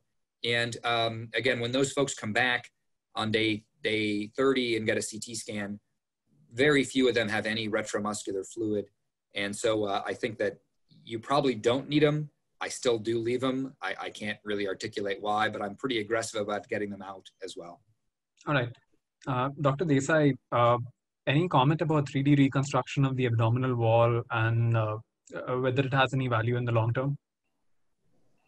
Basically, uh, your anything which you reconstruct with a SAG, coronal, or 3D will help you to give more delineation of the anatomy which you're looking at. But trust me, the basic axial imaging is the best imaging to come to the real diagnosis. The rest of them are more on add-on and they help you. Like you have multiple lesions, like say venous angiomas or the papillomas, then you can show them better with doing the reconstructions of the uh, uh, or the 3D reconstructions or pseudo tumors, which are mimicking the hernias. Yes, that might be useful. But overall, otherwise, any 3D, of course, helps you in any surgery, any part of the uh, body, especially in the MS case. The same story with the abdomen. All right. I, I think that uh, makes sense. Um, Dr. Ramana, um, would a detailed post-recurrence reporting of a CT or an MR have any medical legal repercussions for the primary surgeon? Potentially, yes. Um, but this is probably a, a, bigger issue in the US rather than in India. In India, just a recurrence isn't uh, likely to take you to court. Probably uh, leaving a mesh, uh, uh, leaving a mop or something is more liable to do so. Uh, so I really don't think this is that big of an issue, but yes, potentially any complication uh, and uh, damage that has been documented. And I would say things like you've damaged the neurovascular bundles and created uh, a long segment of rectus atrophy. You've gone into the wrong planes and the patient does now come with recurrence now that would potentially be uh, territory for lawyers to poach on. You just can't escape it. Um, Eric, Dr. Ramana brought up the US, so the question has to you know move on to you. Uh, you know, we have a lot of folks who are doing retromuscular operations. We are seeing a lot of component separations uh, done wrong or inappropriately. Um, it, it's a challenging it's a challenging thing to I mean not only to manage but to talk with patients about. You know the the the things that are wrong are you know the wrong indications for the procedure, um, the wrong um, the wrong patient, non-optimized patients, the wrong modality. You know the fact that you own a robot does not mean that you should be doing robotic abdominal wall reconstruction. I mean there's there's a lot of elements that go into it. My patient from Tuesday this week is a patient who went to her local hospital where a surgeon who is older um, and, but new to, new to that hospital decided to do a component separation on her for a six centimeter midline hernia. Um, he did an open bilateral TAR complicated by a colotomy. Um, he put heavyweight mesh in the retromuscular space in the setting of a colotomy. She had a postoperative bleed that led to an infected hematoma that he managed conservatively with a drain. And um, she essentially had an abdominal wall that was rigidized as a consequence of all of this. I, I don't believe that she had an active infection. We looked for one for quite a while, including draining a little bit of fluid that was still around the mesh. But I, I spent all of uh, Monday basically undoing that component separation. We redid the posterior elements release, peeled it off the mesh, we then peeled the mesh off the abdominal wall. And I mean, it came out like a turtle shell. I mean, it was like rock solid hard. And uh, she is, you know, day two. And like on day one, she's like, I feel so much better. I mean, I mean, honestly, we spent hours deconstructing her. I mean, it was like, it was, it was a pretty tough operation. And I said to the team, I tell, I'm going to tell you right now that she's going to wake up and say, I feel better because of all of the things that kind of happened that probably shouldn't have happened. So, I mean, the medical legal stuff here, obviously the environment is different and we get, um, we get a lot of lawsuits and stuff that come our way. Uh, you know, I'm, I'm pretty open and honest with patients. If they ask, why do I have a recurrent hernia? Like what's going on? We talk about doing things differently. I try not to place blame on people because again, most people are not intentionally harming. Um, every once in a while, I see a pretty egregious error. However, like if you're going to dictate that you put tacks in the triangle of pain uh, on a patient and then they have chronic pain, I mean, it's kind of indefensible. Yeah, even though they said they place attacks safely. it's just stupid. Can I, can it's, I, it's just stupidness. Can I ask a question to Eric? Am I allowed to do that? Absolutely. Yeah. Eric, you showed so many examples of the denervation of the muscles. Uh, the, uh, my understanding is that the neural bundles lie between the internal oblique and the transversalis. And where, in which uh, operation, when, whether the anterior or the posterior component, do you get more damage to the nerves? Because basically the plane is supposed to be a little different. So why are we seeing so many of denervations? Yeah, so that's a great question. So, you know, with either of those operations done correctly, there should be no risk of denervation you know, a division of the external oblique aponeurosis off of its insertion on the rectus with separation of the external and internal oblique muscles from each other should not cross the neuromuscular, the neurovascular plane. Right. Transversus abdominis release done medial to the neurovascular bundles that then jumps into the pretransversalis or preperitoneal plane should be below those. So in either of those operations, if you go too deep the wrong direction toward those bundles, you can injure them. Many of the denervations that I see are a consequence of the in initial incision or incisions of the abdominal wall. So we see them commonly in paramedian incisions, in Kocher incisions, in transplant incisions. Um, we see them with um, stomas that are formed through the semilunar line or stoma closures that then involve an incision around the, uh, the semilunar line as well. So all, I mean, all of those things can result in denervation. Um, and then occasionally we see denervations from um, injuries like uh, rib fractures, uh, you know, lumbar spine and lumbar disc disease where a nerve is being impinged upon and you have the consequences of that coming out on the abdominal wall. Maybe once every, you know, three to six months, I get somebody in my clinic with a big flank bulge and it's just denervation. And if you look back in their history, they've had a, um, a lumbar spine surgery or a bulging disc that was you know impinging there for many many years that has probably resulted in a neuropathy of specific nerves. You know the, the the trick to all of this is that we we are we are told that the rectus muscle is a motor unit. And that's true. I mean i i can't tell you to contract your left upper rectus muscle right? Your brain can't do that. They work as a motor unit um, but that doesn't mean that the, the nerves are not sequential and that you can't denervate the muscle by picking off one nerve. So yes, if I pick off a big nerve in the middle, there's nerves above and nerves below, but that midsection is no longer getting neurovascular signals. And the equivalent of this is you have a right diaphragm and a left diaphragm, and there are two different nerves. I can't tell you to breathe with your left diaphragm only right? But if I cut your left diaphragm, your left phrenic nerve, your left side is going to get completely atrophied while the right side will be totally normal. The rectus muscle is exactly the same. And so we see areas of minor denervation on lots and lots of people where one nerve has been inadvertently injured.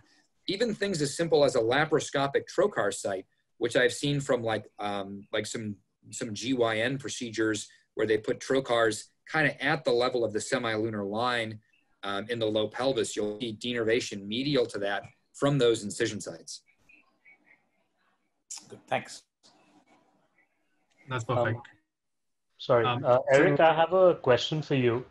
Um, how routinely do you use uh, uh, the Valsalva maneuver while doing CT scans uh, for ventral hernias? Yeah, for, for ventrals, I don't because they're pretty easy to see. I think the area where it's much more helpful is in, um, in uh, groin stuff. Uh, and um, usually if I'm gonna order that, it's because uh, there's a patient who's come to see me in clinic. There's a discrepancy between the clinical exam and the imaging that they already have, and we need a like a tiebreaker imaging study. Um, I'll be honest, uh, maybe it's just my patient population. Uh, they, they just can't do it. I mean, they, they can barely do the hold your breath and don't move. Like the hold your breath and don't move and push your hernias out, which by the way, I mean, it hurts to have these things pushed out. And so then you got to lay still. I mean, the images aren't always as nice as you specifically want them to, uh, to be. And so I, I rarely use them, but, but if I'm going to use them, not only will I order it and talk with the radiology folks, but I actually spend a few minutes in clinic and explain to the patient what they are going to do on the table. And basically, it's like, I want you to physically push hard to push these hernias out. And yes, it's going to hurt. And I just need you to suck it up for a few, you know, for the two minutes while you're in the scanner. Right. That sounds great. Um, th there are a lot of questions coming our way. So uh, I'm not going to ask you all of them. So I'm just going to ask you how people can reach out to you. Oh, uh, yeah, here. Um, let me uh, in the chat box. I will. Um, I'll put my. Um, I'll put my contact info up there. Honestly, the easiest way. Um, tag me on an IHC post. Uh, DM me on um, on Twitter. That's that's pretty easy. I'll give you my email address uh, as well here. I'll, so I'll put the, I'll put it in the chat box. Oh, that's perfect. So uh, thank you so much. There were so so many new uh, things that we learned about today, uh, particularly radiomics. Am I saying that right? Yeah. You're saying it right. Lots Absolutely. About uh, uh, 3D reconstruction, so many uh, different opinions, uh, and especially it was really important to get, uh, uh, you know, to, to hear so many experienced voices from the radio imaging side, uh, because sometimes we just feel a little foolish in a dark room. so uh, thank you so much, uh, Dr. Desai, uh, Dr. Aparna Patankar. Uh, thanks so much to uh, panelists, um, Dr. Ramana, uh, Eric Pauli, and uh, Charlotte Horne has uh, just left us a little while back. Um, uh, thank you so much for being a part of this talk. And uh, Eric shared his details in the chat box for those of you guys who have questions. Uh, once again, thank you so much for spending this time with us. Really appreciate it. Thank you. Thanks. Thank you. It was great. day. Have a good night. Thanks, Dr. Ramana. Thank you very much Thank for you. My this great conference. Thank you. Thank you. It was like great to be a part of this discussion. Yeah. And thanks so much, Harsh. Thanks, Eham, and uh, thank you all. Bye, guys.